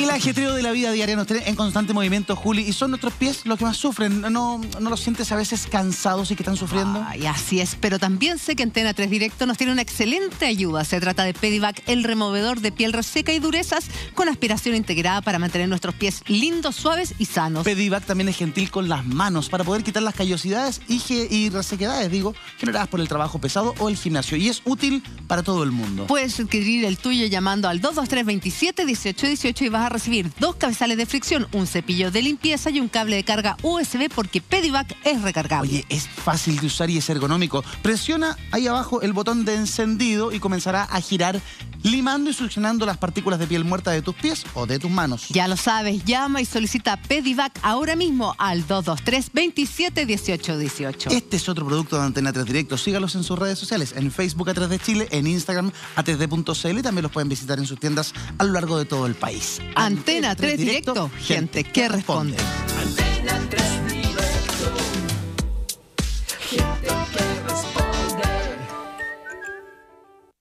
Juega ahora en holamillones.cl y gana todos los viernes un millón de pesos en Hola Chile. Ingresa desde tu celular con el código QR que aparece en pantalla y participa por un millón de pesos. Recuerda, juega ahora en holamillones.cl y este viernes estarás participando por un millón de pesos en Hola Chile. 6 de la tarde con 36 minutos seguimos analizando el segundo día de juicio en Besançon, en Francia, en contra del chileno Nicolás Cepeda por la desaparición y el asesinato de quien fue su novia, eh, Narumi Kurosaki. Y estamos con Carlos Gutiérrez porque llaman muchas cosas la atención de lo que se ha revelado hoy día a partir de lo que dice la policía francesa que ha estado investigando durante los últimos años este caso. Como por ejemplo el lugar o el sitio que se ha calificado como el lugar del suceso, que es el departamento o más bien la habitación que, que vivía eh, Narumi en esta residencia estudiantil. Exacto. Eso es lo, eh, lo que acabas de decir tú, Julián, al, al final es lo más importante. Esto es una residencia estudiantil. ¿Qué quiere decir esto? Que es una especie de hotel con muchas habitaciones donde viven solo estudiantes eh, que se dedican a estudiar idiomas o, estudiantes universitarios. Esto es muy común en, eh, en zonas universitarias. ¿Cuál es el punto de lo que hemos sabido hasta el día de hoy? que esta es una escena que está armada, obviamente, por el autor de este crimen. Eh, ¿Por qué? Porque estu- fue ordenada, eso es un hecho, que la persona que estuvo involucrada en este, en este hecho ordenó la escena del crimen, la limpió, cosa que no era normal en el caso de la- Narumi, no- nunca tenía la habitación en estas condiciones. Había eh, comida comprada hace muy poco tiempo y para varias personas, cosa también que les, eh, les, pareció bastante extraño y hoy día lo menciona el policía. Y también un- una tercera hipótesis o un tercer punto fundamental en el análisis de la escena fue que se encuentran a- eh, ADNs mixtos. ¿Qué quiere decir esto? Que hay una mezcla de dos o más ADNs en la escena del crimen. En este caso fue una mezcla de dos eh, personas que aportan su ADN en esta escena y eh, se encuentra obviamente el ADN de Narumi porque es su habitación, pero este ADN está mezclado con el ADN de Cepeda. Es decir, Cepeda ingresó a la habitación de Narumi con o sin permiso de ella. No lo sabemos, la versión de él es que fue de mutuo acuerdo, pero se encuentra ADN de él, además de unas huellas dactilares de él también en la escena. La imagen que estamos revisando ahí en pantalla, Carlos, corresponde justamente al- a este departamento, a esta habitación eh, de Narumi que está intacta. Se ha preservado durante estos últimos cinco años tal y como estaba el día que ella desaparece. Así es, esta es una fotografía que obtiene un periodista eh, del diario local que la toma desde la ventana, por eso no es tan nítida, pero se observa la habitación en las mismas condiciones en que la dejó la policía la última vez que fue periciada. ¿Qué es lo importante acá? Que, eh, tal como lo conversábamos antes de irnos a comerciales, que acá muchas veces las escenas del crimen duran un par de horas y se devuelven o se, entregan a, los propietarios. Acá, afortunadamente, los propietarios, que en este caso este, es este hotel eh, de estudiantes, facilitó o ha facilitado durante cinco años la escena para que pueda ser periciada nuevamente o incluso en el periodo en que estamos de juicio oral pueda ser visitada por los jueces o el jurado si es que fuese necesario. Y se ve claramente que está la cartera de Narumi ahí. Está la cartera de Narumi, se encontró dinero en efectivo, se encuentran pertenencias. Lo único que falta acá es, son, es la billetera con sus tarjetas de crédito, una maleta, una frazada y obviamente Narumi. Carlos, hay un gran misterio que no, que no logramos descifrar, comprender, lo hemos analizado con el equipo, y que tiene que ver con la extracción de Narumi de ese lugar. Porque por, por más que Cepeda haya sabido dónde estaban las cámaras, por, por más que haya ido antes, él supuestamente debió haber sacado a Narumi de esa habitación. ¿Cómo? Yo creo que aquí hay dos, teorías y lo, lo conversábamos antes. Uno, que efectivamente se peda. A ver, falta una maleta y una frazada. Sí. Imagínense lo que usted quiera en su casa, pero todos tenemos buena imaginación y sabemos dónde están esa frazada y esa maleta en este minuto. Eh, con esa frazada y esa maleta pudo haber sacado a Narumi desde la habitación la misma noche en que llegan y el resto o eh, es una actuación o, o de hecho, acuérdense que todos los compañeros, no sé si está la cámara, el- eh, la fotografía del, del pasillo del, del lugar, si, si me pueden colaborar con eso en dirección, porque eh, recuerden que gente escucha gritos. Los compañeros, la- las otras habitaciones escuchan gritos que según Cepeda son gritos de una relación íntima que está teniendo con Narumi, pero todos, todos coinciden que, ahí estamos viendo la imagen, si se van dando cuenta son habitaciones que están muy juntas en un pasillo muy pequeño, por ende, obviamente todo el mundo va a escuchar lo que pasa ahí. Entonces, es muy diferente gritos de una relación versus gritos de un homicidio o cuando a alguien le están quitando la vida. Entonces, en ese sentido, todos los testigos que eh, eh, habitaban en las, en los en las habitaciones contiguas a la de Narumi coinciden con esto, que cerca de las 3 de la mañana hay gritos de dolor, gritos de, de- de- de- pidiendo auxilio. Hablan de gritos de terror. Gritos de terror que nunca se los van a olvidar y eso es lo que declaran todos. Nadie se ha puesto de acuerdo, sino que declaran todos eso. Entonces ahí está la primera hipótesis o la primera línea investigativa. Efectivamente esos gritos eran de Narumi o pudo haber puesto Cepeda, que ya sabemos que estuvo en la escena, utilizando un audio falso con mucho volumen para utilizar su coartada y decir, yo estaba teniendo relaciones con Narumi, así que está todo bien, me fui de la habitación y nunca más la vi y no es problema mío la desaparición de ella. Puede ser esa una opción. La otra, y la otra opción es que haya tomado el cuerpo de Narumi, la haya envuelto, la haya puesto en estas maletas y a lo, a lo mejor las cámaras no las tomaron y le sube al vehículo y se, se va. Algo nuevo que agregó Nicolás en la audiencia hoy día, que se le interrogó, fue el tema de los famosos gritos. Él siempre ha mantenido la tesis de que los gritos provenían de producto de una relación, pero él además hoy día agregó otro antecedente. Señaló que eh, producto después de que habían tenido relaciones y que Narumi se había dado cuenta que le había sido eh, infiel a su novio actual Artur del Piccolo, le habría dado una crisis de pánico. Una crisis de pánico que no la había podido controlar y que eso lo hizo golpear murallas, la hizo gritar y que eso fue lo que escucharon los, también lo que escucharon los vecinos, los roommates, y que eventualmente denunciaron como estos gritos de espanto y todo, que era una crisis que tenía porque le gritaba eh, literalmente que había sido infiel. Eh, dice literalmente producto de una crisis de pánico que le dio a la joven por haber sido infiel. Y a eso, por eso es que se habían producido estos golpes en la muralla, porque se habla de gritos, que se escucharon golpes y también algunos eh, como ruidos com- complicados. Y eso, según Nicolás, es por el tema de esta famosa crisis de pánico que le dio a Narumi. Se, se- se dispara. Cada vez que Nicolás Cepeda habla, parece que se disparan los pies.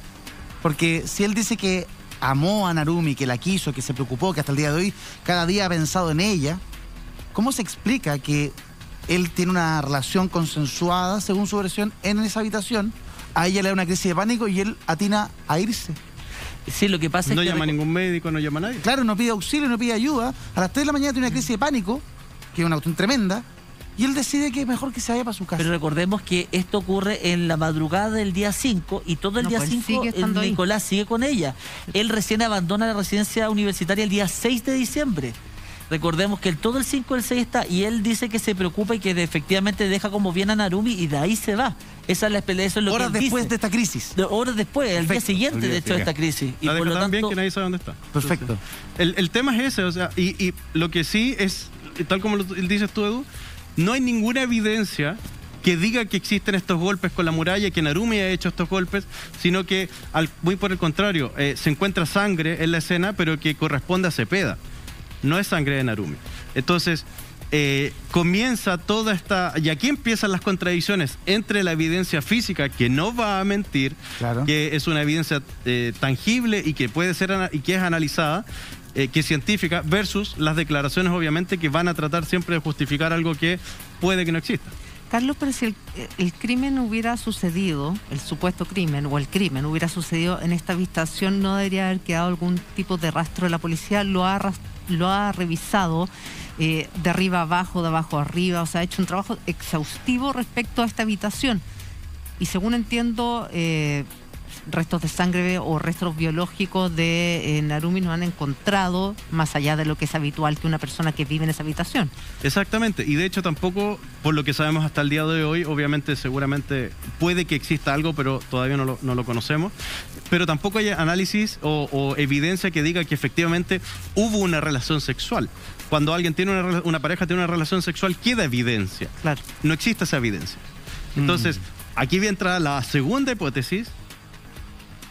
Efectivamente la escena ocurre en ese lugar o a lo mejor Narumi nunca llegó y solamente Cepeda o el autor de este crimen saca la maleta, saca la frazada para utilizarlo en otra zona donde el cuerpo de Narumi estaba. y instalar Eh, claro. ese- esa Y habitación una- como el lugar de la escena cuando no lo fue. Exactamente. Una coartada más. Es una coartada que cuadraría con la historia que está contando o que ha dicho Cepeda desde un principio. Entonces, Mm.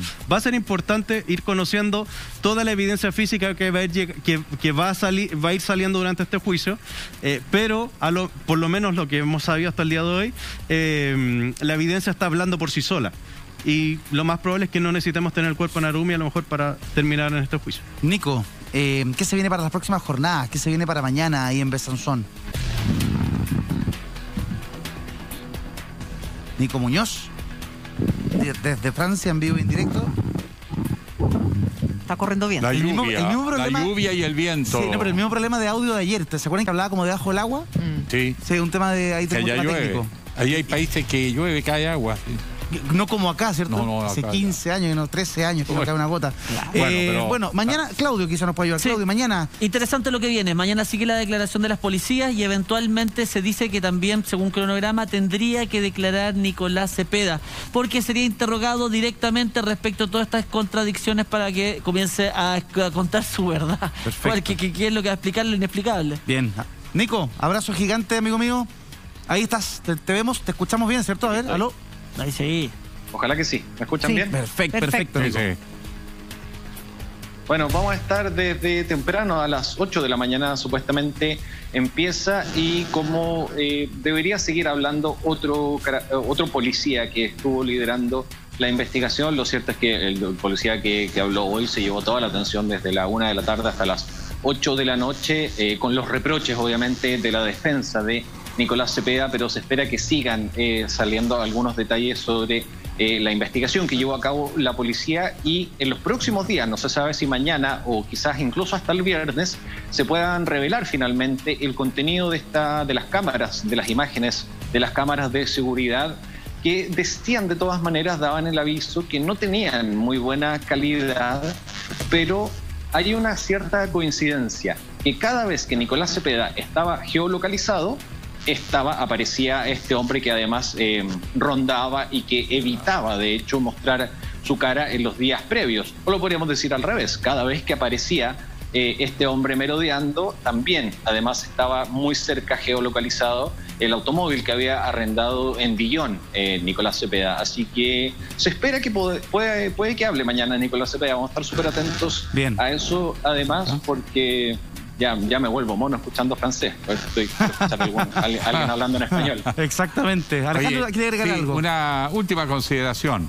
Eh, hay en este momento un problema con el, la aceptación de ciertos incentivos, que es- son videos grabados y que comprometerían a este joven chileno. Y la defensa de él ha argumentado que esos antecedentes no estaban en conocimiento de la defensa y por lo tanto no podrían tener validez.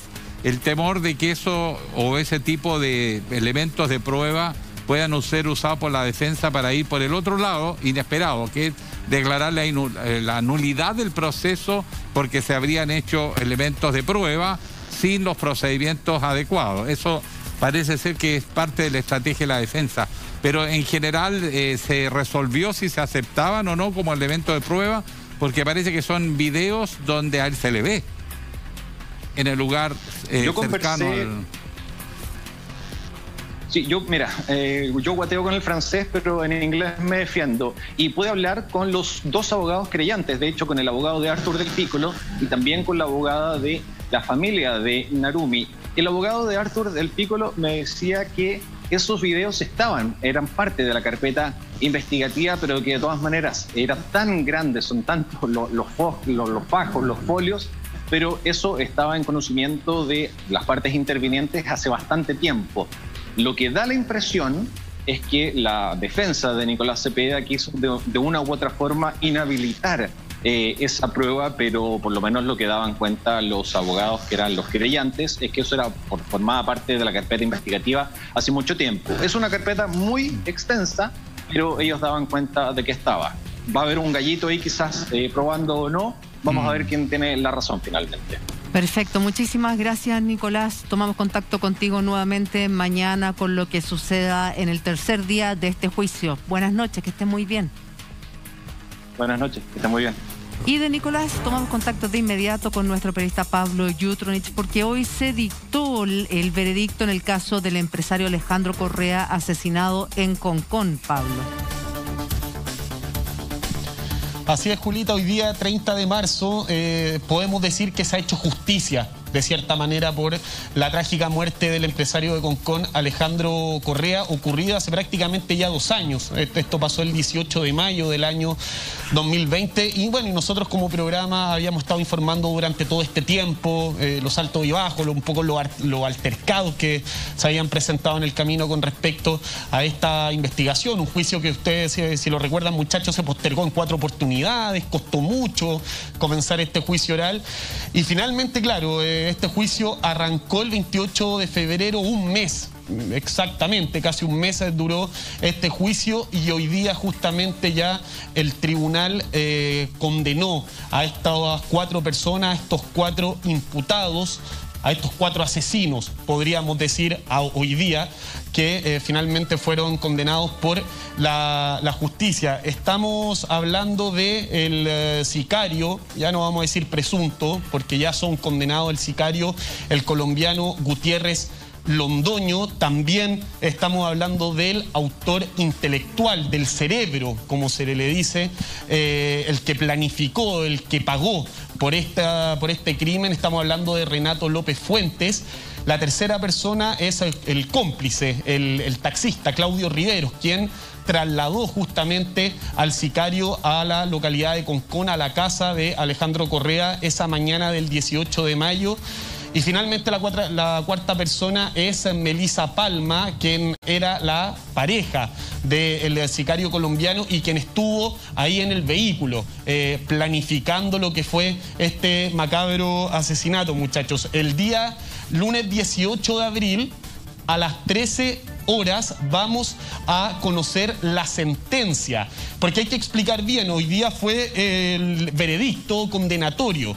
Hoy día no se dictó la sentencia de cuántos años eh, van a recibir de pena los cuatro, los cuatro involucrados. Hoy día se dictaminó lo que es eh, el veredicto condenatorio y la próxima semana ya se hace la lectura de la sentencia donde se leen todos los cargos y es una audiencia ya más extensa. Pero la verdad, muchachos, que hoy día se informó esta noticia a las familias, quienes se mostraron muy satisfechos, tranquilos, dentro de lo que pueden estar ellos, dentro de lo terrible que ha sido estos, do- estos dos últimos años para, para esta familia, pero se mostraron satisfechos justamente de eh, lo que dictaminó el tribunal. Hay declaraciones justamente de la magistrado cuando hoy día eh, leyó justamente esta eh, condena y habla algo bastante particular sobre el sicario Gutiérrez Londoño. Yo quiero que pongan mucha atención, porque la magistrado dice, ¿por qué finalmente el tribunal lo apunta como el sicario y lo condena como el sicario? Porque hay una declaración de un testigo que fue clave. Los invito justamente a revisar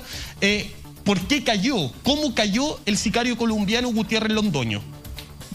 En relación a la participación que se atribuye al acusado Víctor Gutiérrez Londoño, como el autor de los disparos dirigidos el día de los hechos en contra de Alejandro Correa y de Andrés Mucio, se contó principalmente con la declaración de este último, quien se encontraba junto a la primera víctima el día de los hechos, presenciando de modo directo el momento en que Gutiérrez apuntó y disparó a Correa y luego contra suyo. Y esto desde muy corta distancia, lo que le permitió advertir la fisonomía del agresor y posteriormente identificarlo en el set de imágenes que le fue exhibido a lo largo de la investigación, confirmando por último su imputación ante el propio tribunal, descartando el testigo cualquier tipo de confusión o sugestión en dicha sindicación, pues, según él mismo señaló, hay momentos en la vida que se viven que son impactantes y por lo mismo, comillas, hay ciertas facciones de la cara y de los ojos que recuerda y que coinciden con lo que vio en ese momento. Quien refirió que mientras prestó alojamiento a Víctor Gutiérrez en su casa, este le contó que su jefe se llamaba Renato, quien le ofreció pagarle la suma de 5 millones de pesos para matar a una persona de Concón. Mismos datos que en su momento entregó Melissa Palma, en relación a que el jefe de su pareja se llamaba Renato y que por el trabajo que había realizado el 18 de mayo le había pagado 5 millones de pesos. La exhaustiva investigación del fiscal permitió probar en más de una oportunidad, al mencionar a su jefe, el sicario se refirió a un sujeto de nombre Renato. Y aún más, en su propio teléfono llevaba escrito un papel de autoría de López Fuentes en que se le indicaba el nombre y la dirección de la víctima. El trabajo de la fiscalía fue súper completo, Julita Edu, también por parte del abogado creyente, Juan Pablo Hermosilla, el abogado de la familia realmente, porque eh, hubo muchas declaraciones de testigos, algunos testigos por parte del Ministerio Público quienes tuvieron que solicitar medidas de protección para que ustedes logren dimensionar un poco la peligrosidad de quién se estaba tratando, de Gutiérrez Londoño, de este, del Parse, como le dicen, del colombiano, como lo apodaban, de este sicario. Nosotros escuchamos a la magistrado eh, cuando eh, alude justamente a Gutiérrez Londoño y esta declaración de este testigo. ¿Qué pasa? Ese 18 de mayo, cuando muere Alejandro Correa en la puerta de su casa en la mañana, Alejandro no se encontraba solo, se encontraba con un amigo, Claudio Mucio, quien lo señala la magistrada. El sicario se acerca en ese momento y a cuatro metros, bueno, le dispara a, a, quemarropa a Aleja- Alejandro Correa y también le dispara después al amigo, a Claudio Mucio, pero el amigo no muere, no, no fallece. Entonces la declaración del amigo fue clave. La declaración de Claudio, Mucio, de Claudio Mucio fue clave porque le mostraron las imágenes posteriormente de esta persona y dijo, este es. Lo reconoció inmediato. Es un poco lo que dice la, la magistrada, lo reconoció perfectamente. Esta fue una de las tantas pruebas y, y uno de los tantos trabajos que realizó la Fiscalía, porque acá hubo eh, investigaciones telefónicas, entre otras cosas que realmente fue extraordinario. En lo personal yo seguí muy de cerca esta, este último mes de juicio y las pruebas fueron tremendamente contundentes, muchachos. Valentina Correa ha sido mm, la voz, la voz comunicacional de la familia. Ella ha liderado una lucha mediática para, para visibilizar la historia de su padre, para hacer justicia por su familia, pero también para que otras personas no vivan el mismo proceso que ellos han tenido que vivir. Ha sido una de sus principales motivaciones. Eh, ella también se refirió respecto de esta condena que declara a estas cuatro personas culpables del asesinato de su padre. Desde que mataron a nuestro papá, hemos atravesado un camino muy complejo, muy duro. Enfrentarnos a los detalles del crimen eh, nos ha horrorizado y causado mucho dolor. Hoy, eh, con la sentencia que entregó el tribunal, nos sentimos conformes. Si bien todavía quedan etapas por recorrer, por primera vez nos sentimos reconocidos en nuestro dolor. Y eso es muy importante, porque la justicia te entrega un reconocimiento y al mismo tiempo te entrega un cierto alivio. Valoramos eh, la decisión del tribunal, comprendemos que todavía nos quedan etapas. Nada ni nadie nos va a devolver a nuestro padre, pero también sabemos que aquí estamos enfrente a personas de una extrema maldad y que por tanto podrían ocasionar daños similares a otras familias. Y eso es algo que nosotros como familia no queremos que ocurra. Ahí estaban las declaraciones de Valentina Correa y la verdad es que eh, ha sido un proceso súper duro, largo. eh, muchas veces hubo postergación del juicio, lo comentamos hace Sí. poco tiempo, que ella incluso nos envía un video diciendo ¿Qué más tiene que pasar? Nos revictimizan una y otra vez con las sucesivas eh, postergaciones. Bueno, Mm. finalmente ya, eh, como decía precisamente eh, Pablo, hay un veredicto, son declarados culpables. ya se va a conocer el próximo 18 de abril finalmente la sentencia.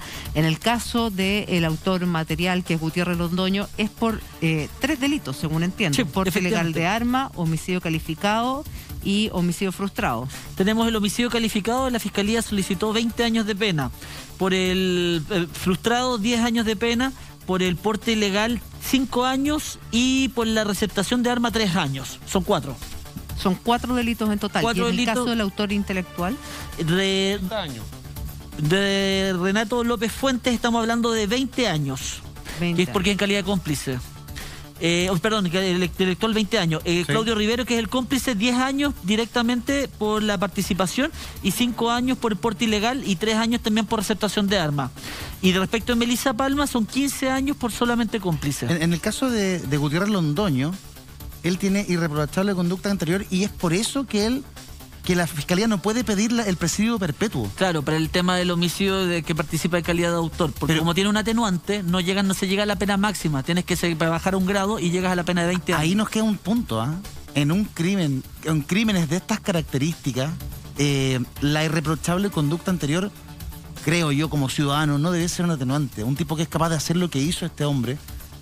¿Por qué habría que reconocerle una irreprochable conducta anterior cuando eso es lo mínimo que un ciudadano debiese cumplir? Es que en todos los delitos te lo reconocen como un atenuante, entonces habría que establecer una diferencia en que ciertos delitos no correría como atenuante. Yo hablo de homicidio calificado. Claro, o tal vez algunas violaciones, algunas Por ejemplo. secuestros, puede ser. Sí, No, y yo- también se podría considerar los te- antecedentes penales, o sea, bueno, evidentemente esto es un cambio de legislación, sí. pero también se podría considerar los antecedentes penales que pueda tener la persona en el país de origen. Ah, bien. evidentemente esta persona no va a tener una irreprochable conducta conducta anterior, pero se les olvidó Entró que de manera por- ilegal también. eh, entró, exactamente, entró de manera ilegal al país. Entró cometiendo un delito al país, entonces. Claro. ¿De qué ¿De qué estamos hablando? estamos Exacto. hablando? Pablo, si no me Carlito. equivoco, él tenía una orden de expulsión, ¿o no?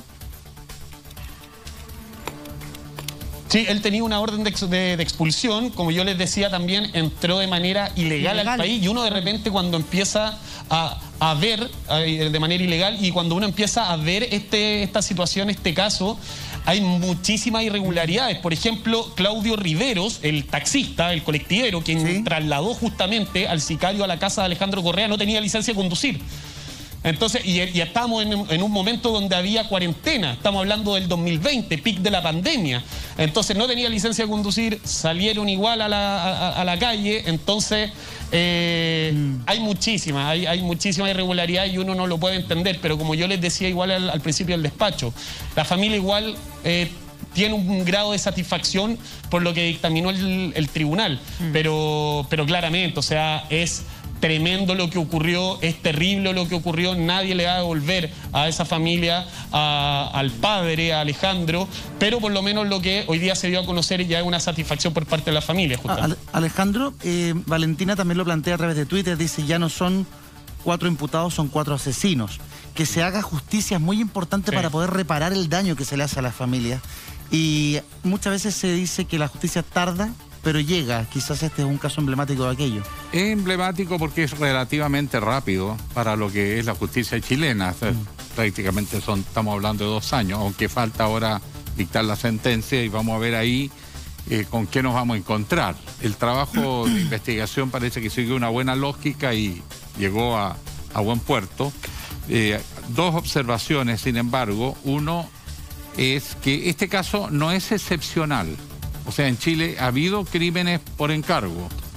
El tema está en que esta es una modalidad de negocio que va increciendo y por lo tanto nuestro sistema judicial y al mismo tiempo las policías tienen que asumir que estamos hace ya evidentemente hace un tiempo largo frente a un nuevo tipo de delito y es que en Chile están operando muchos extranjeros que son mafias organizadas operando con nuevos tipos de crímenes donde el secuestro y el asesinato por encargo son simplemente modelos de negocio para el AMPA. claro. O sea, ellos no, no es que tuviera algo especial, les simplemente le ofrecen una paga por matar a alguien y, como digo, eso nos obliga a tener colaboración con países de origen porque sería absurdo que nos encontráramos después que esta persona, que es el autor material, eh, nos encontráramos que en su país de origen tiene cantidad de antecedentes y aquí se le premió por tener intachable conducta anterior cuando hace poco que ingresó al país de manera ilega- ilegal. Es que puede tener una persona irreprochable conducta interior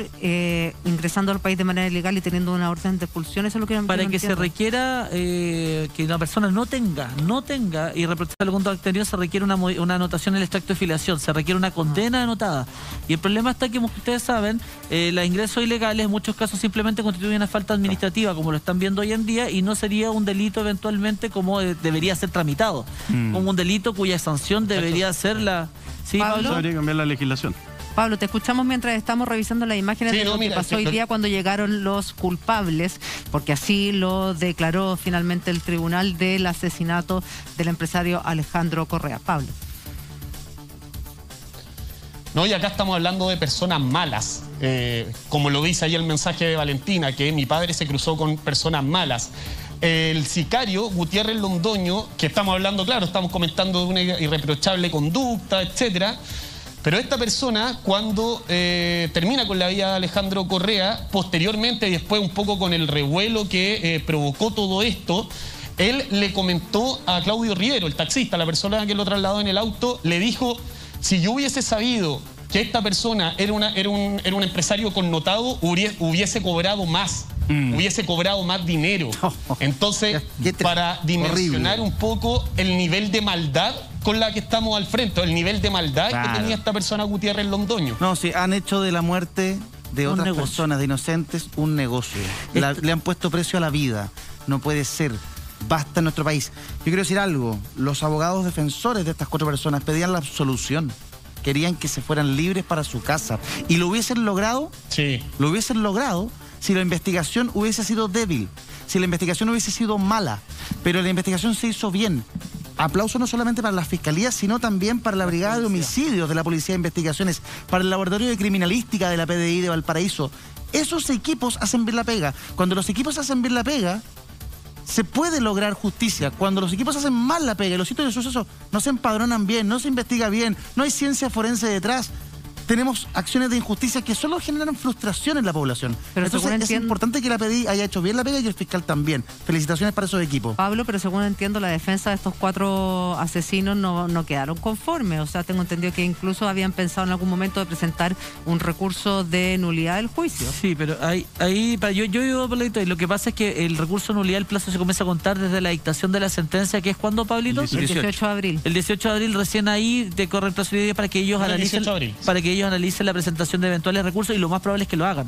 Es casi seguro. Así que cinco días de, tienen de tiempo. no sé, pero no sé, sí, no sé, no sé. Pero no sé agreguemos un hecho que está pasando en nuestro país, que es un vicio a tal altura jurídica. Los procesos investigativos generalmente tienen una primera etapa que está a cargo del juez que investiga, después viene la instancia de apelación, pero en, en teoría en los juicios deberían concluir ahí, en la instancia de apelación. La instancia de la Corte Suprema, que es lo que hace que se alarguen en Chile los juicios en forma interminable, en realidad es una medida excepcionalísima que debería aplicarse solo en circunstancias muy particulares. Pero en Chile se hizo rutina por práctica de los propios abogados litigantes que alargan las causas porque además tienen una serie de beneficios para sus defendidos, entre otros que puede estar detenido y, ya se le considera parte de la Pena cumplida. cumplida y está detenido en circunstancias y en condiciones que no es la misma que cuando está condenado rematado, por decirlo de alguna manera. Entonces hay demasiadas prácticas en el sistema judicial. Yo una, una vez más espero que en el proceso constituyente se limen algunas de estas cosas que lleva finalmente al abuso de los recursos. Exactamente. Y lo otro es la postergación eterna, que en este caso felizmente no se dio, que es la manera más fácil de eludir a la justicia. Acuérdense de Jadwe, que, que el ex dirigente del fútbol chileno, Jadwe. que está en Estados Unidos, allá también ocurren estas cosas, que lleva no sé cuántos años postergando una y otra vez. Eso es porque está arreglado el juicio. Exactamente. Reflexiones que hay que importante hacer a esta hora de la tarde cuando ya conocemos entonces el eh, fallo respecto del caso del empresario Alejandro Correa. Pablo Yutonich, sé que has seguido este caso con eh, el profesionalismo de siempre, pero también con una carga emocional importante y te felicito por el trabajo. Gracias por traernos todos los detalles. Un abrazo. Vamos a estar pendientes el lunes 18 de abril a la, a la sentencia de Edu. Impecable. Hacemos pausa, regresamos de inmediato con más Hola Chile. ¿Cuántas veces uno se propone pintar la casa, una habitación o incluso algún mueble y después se arrepiente? Pensamos en todo, Julio. Oye, los maestros, después uno saca cuenta y dice, no, tengo que pedir un préstamo para contratar a los maestros para poder comprar la pintura para todo. Bueno, eso hasta ahora, porque hoy día les vamos a contar sobre un producto de Swiss Trending Co. que permite pintar sin contratar pintores y sin ensuciar ni gastar una fortuna. Se trata de Paint Blast 4x4, que es un sistema revolucionario de pintura con rociador que ya está en nuestro país. Es ideal tanto para pintar superficies grandes o pequeñas y con una sola mano de pintura es suficiente para obtener resultados profesionales y en tiempo récord. Paint Blast 4x4 tiene una tecnología de rociado 360 con patrón horizontal o vertical para poder pintar cualquier tipo de superficie. Incluso viene con luz LED, así hasta los rincones nos van a quedar prolijitos. El secreto está en su motor de turbina HVLP de 600 watts que garantiza una cobertura máxima, por lo que una sola mano suficiente. Si tienen ganas de pintar, apúrense y llamen ahora al teléfono que está en pantalla y consigan su Paint Plus 4x4 a un precio de lanzamiento súper especial. Además, van a recibir un contenedor extra grande de almacenamiento, un densímetro para poder usar cualquier tipo de pintura, más tres perillas para cualquier tipo de rociado y... Y lo que la Juli está esperando, y todos ustedes en sus casas también, nuestro especial de esta semana. Mira, para los que pagan con tarjeta de crédito, esta semana de regalo, una tabla multifunción de Swiss Trading Co. totalmente gratis. Llamen ya al 2 315 0189 y a pintar como un profesional.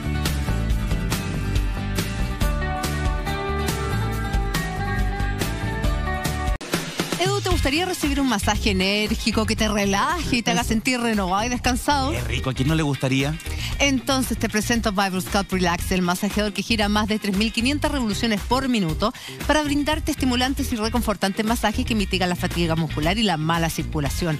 Vas a pasar de sentirte estresado y contracturado como en estos momentos Sí. a sentirte flexible y lleno de energía. Qué rico, qué relajante. Esto es lo que yo necesito. Cuéntame, Juli, ¿dónde consigo esta maravilla? Con nuestros amigos de Antena 3 Directo, llama al 223-27-1818 y solicita el tuyo. Vas a recibir el Vibro Scalp Relax, la guía de hábitos de alimentación saludable, la guía completa de masajes y el set de exclusivas toallas relajantes. Voy a llamar. Fíjate que lo único que quiero al final del día es liberarme del estrés, sacarme la tensión y Vibro Scalp es ideal. Entonces anota y llama ahora al 223-27-1818 y pone atención, vive la experiencia de compra en a3d.cl. Descuento de verdad y despacho en 48 horas en todo Santiago. Este, es, otro producto de Antena 3 Directo. Gente que responde. Antena 3 directo. Gente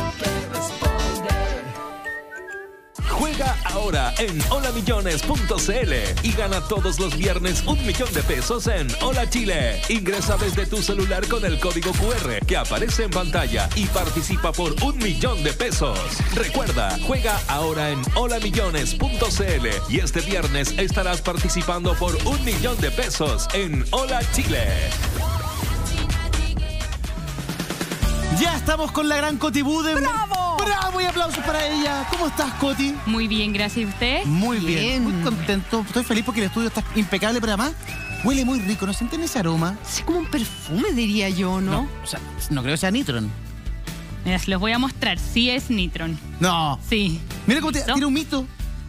Sí, porque es un humificador además de ser una aspiradora que además repasa. Mira. Es un humificador y además de eso trae una luz ultravioleta de esas mismas que se usan en los hospitales como para eliminar bacterias, todo, todo, todo, todo y al final para tener a la, en la casa todo impecable. ¡Qué buena! Exactamente, miren, les voy a mostrar un poquito acá, Ya. permiso, me voy a agachar acá, porque acá se abre el compartimiento, les voy a mostrar cómo, perdón, Oye, se pasó. Me, me gustó porque tenía el estudio, pero todo Perfumado, rico. Bueno, yo le puse Eucaliptus. un aceite esencial acá Ya.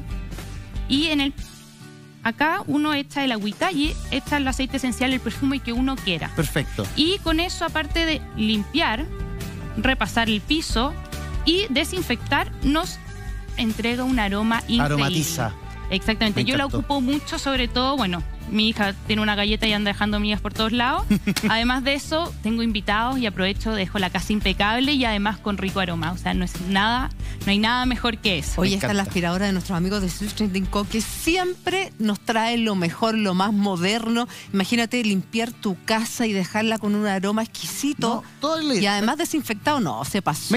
No, Mira cómo además de eso, nos soluciona la vida. Eso es lo, lo que más nos, lo que más hace Sweet Trading Co. Nos trae cosas para solucionarnos la vida. Y es muy silenciosa. Muy silenciosa. Y además de eso, dura 90 minutos sin parar. O sea, ella, esta- ella puede estar todo el día, o sea, 90 minutos para un lado y para el otro, limpiando y no va a parar. No se cansa nunca. No se cansa. Oye, Pero me preguntarán después si le cambio la batería Sí, o algo algo. así. No. Algo que todos tenemos en la casa, con un simple cargador USB, se carga. Ah, No te creo. Exactamente. Me encantó. Es Aromatiza, increíble. limpia, va aspirando. Extraordinaria. No queda ni una pelusa en el suelo, nada, nada, Ninguna. nada. Y además de eso eliminamos todas las un 99% de todas las bacterias. No, y el olor a eucalipto es exquisito, se pasó, Sí. es como olor a limpio. Bueno, uno puede echar el, el aroma que uno quiera también. O sea, puede ser lavanda, limón, lo que uno tenga también, o el perfume, o desinfectante también. Claro. Pero mira, eso, eso que vamos a ver, no, tranquilo Max, déjalo que toque el cable. Mira, toca el cable, que es algo que se puede encontrar en una casa, un alargador, no tengo idea, una alfombra. Exacto. Lo detecta y se devuelve. Y sigue. No se queda trancada. Exacto, eso es lo mejor que tiene. En tu ejemplo, yo pongo mi pie acá y detecto algo y gira. Entonces al final va limpiando todos los rinconcitos de la casa. Yo nunca había visto este, este piso tan limpio, eso debo decir. Saludos, Ni este estudio tan oloroso. Se pasó. Oye, Espérate. Nitro se pasó y hay regalo. ¿Viene con regalo, Nitron? Mira, viene con un 30% de descuento si llaman a través de diciendo que vieron el programa Hola Chile. Perfecto. Y además de eso, bueno, si pagan con tarjeta, tienen el regalo de la semana que es la tabla multifuncional. Que es fantástica. Que es fantástica. Sirve muchísimo. Así que ya lo sabe, este producto no lo va a encontrar en el mercado, tiene que llamar al teléfono que está apareciendo ahí abajito en pantalla, el 22 71 28 85 4. Llame ahora, aproveche este 30% de descuento y además si dice y lo paga con su tarjeta, viene además esta increíble tabla multifuncional de regalo. Me encanta. 22712-8854. Excelente.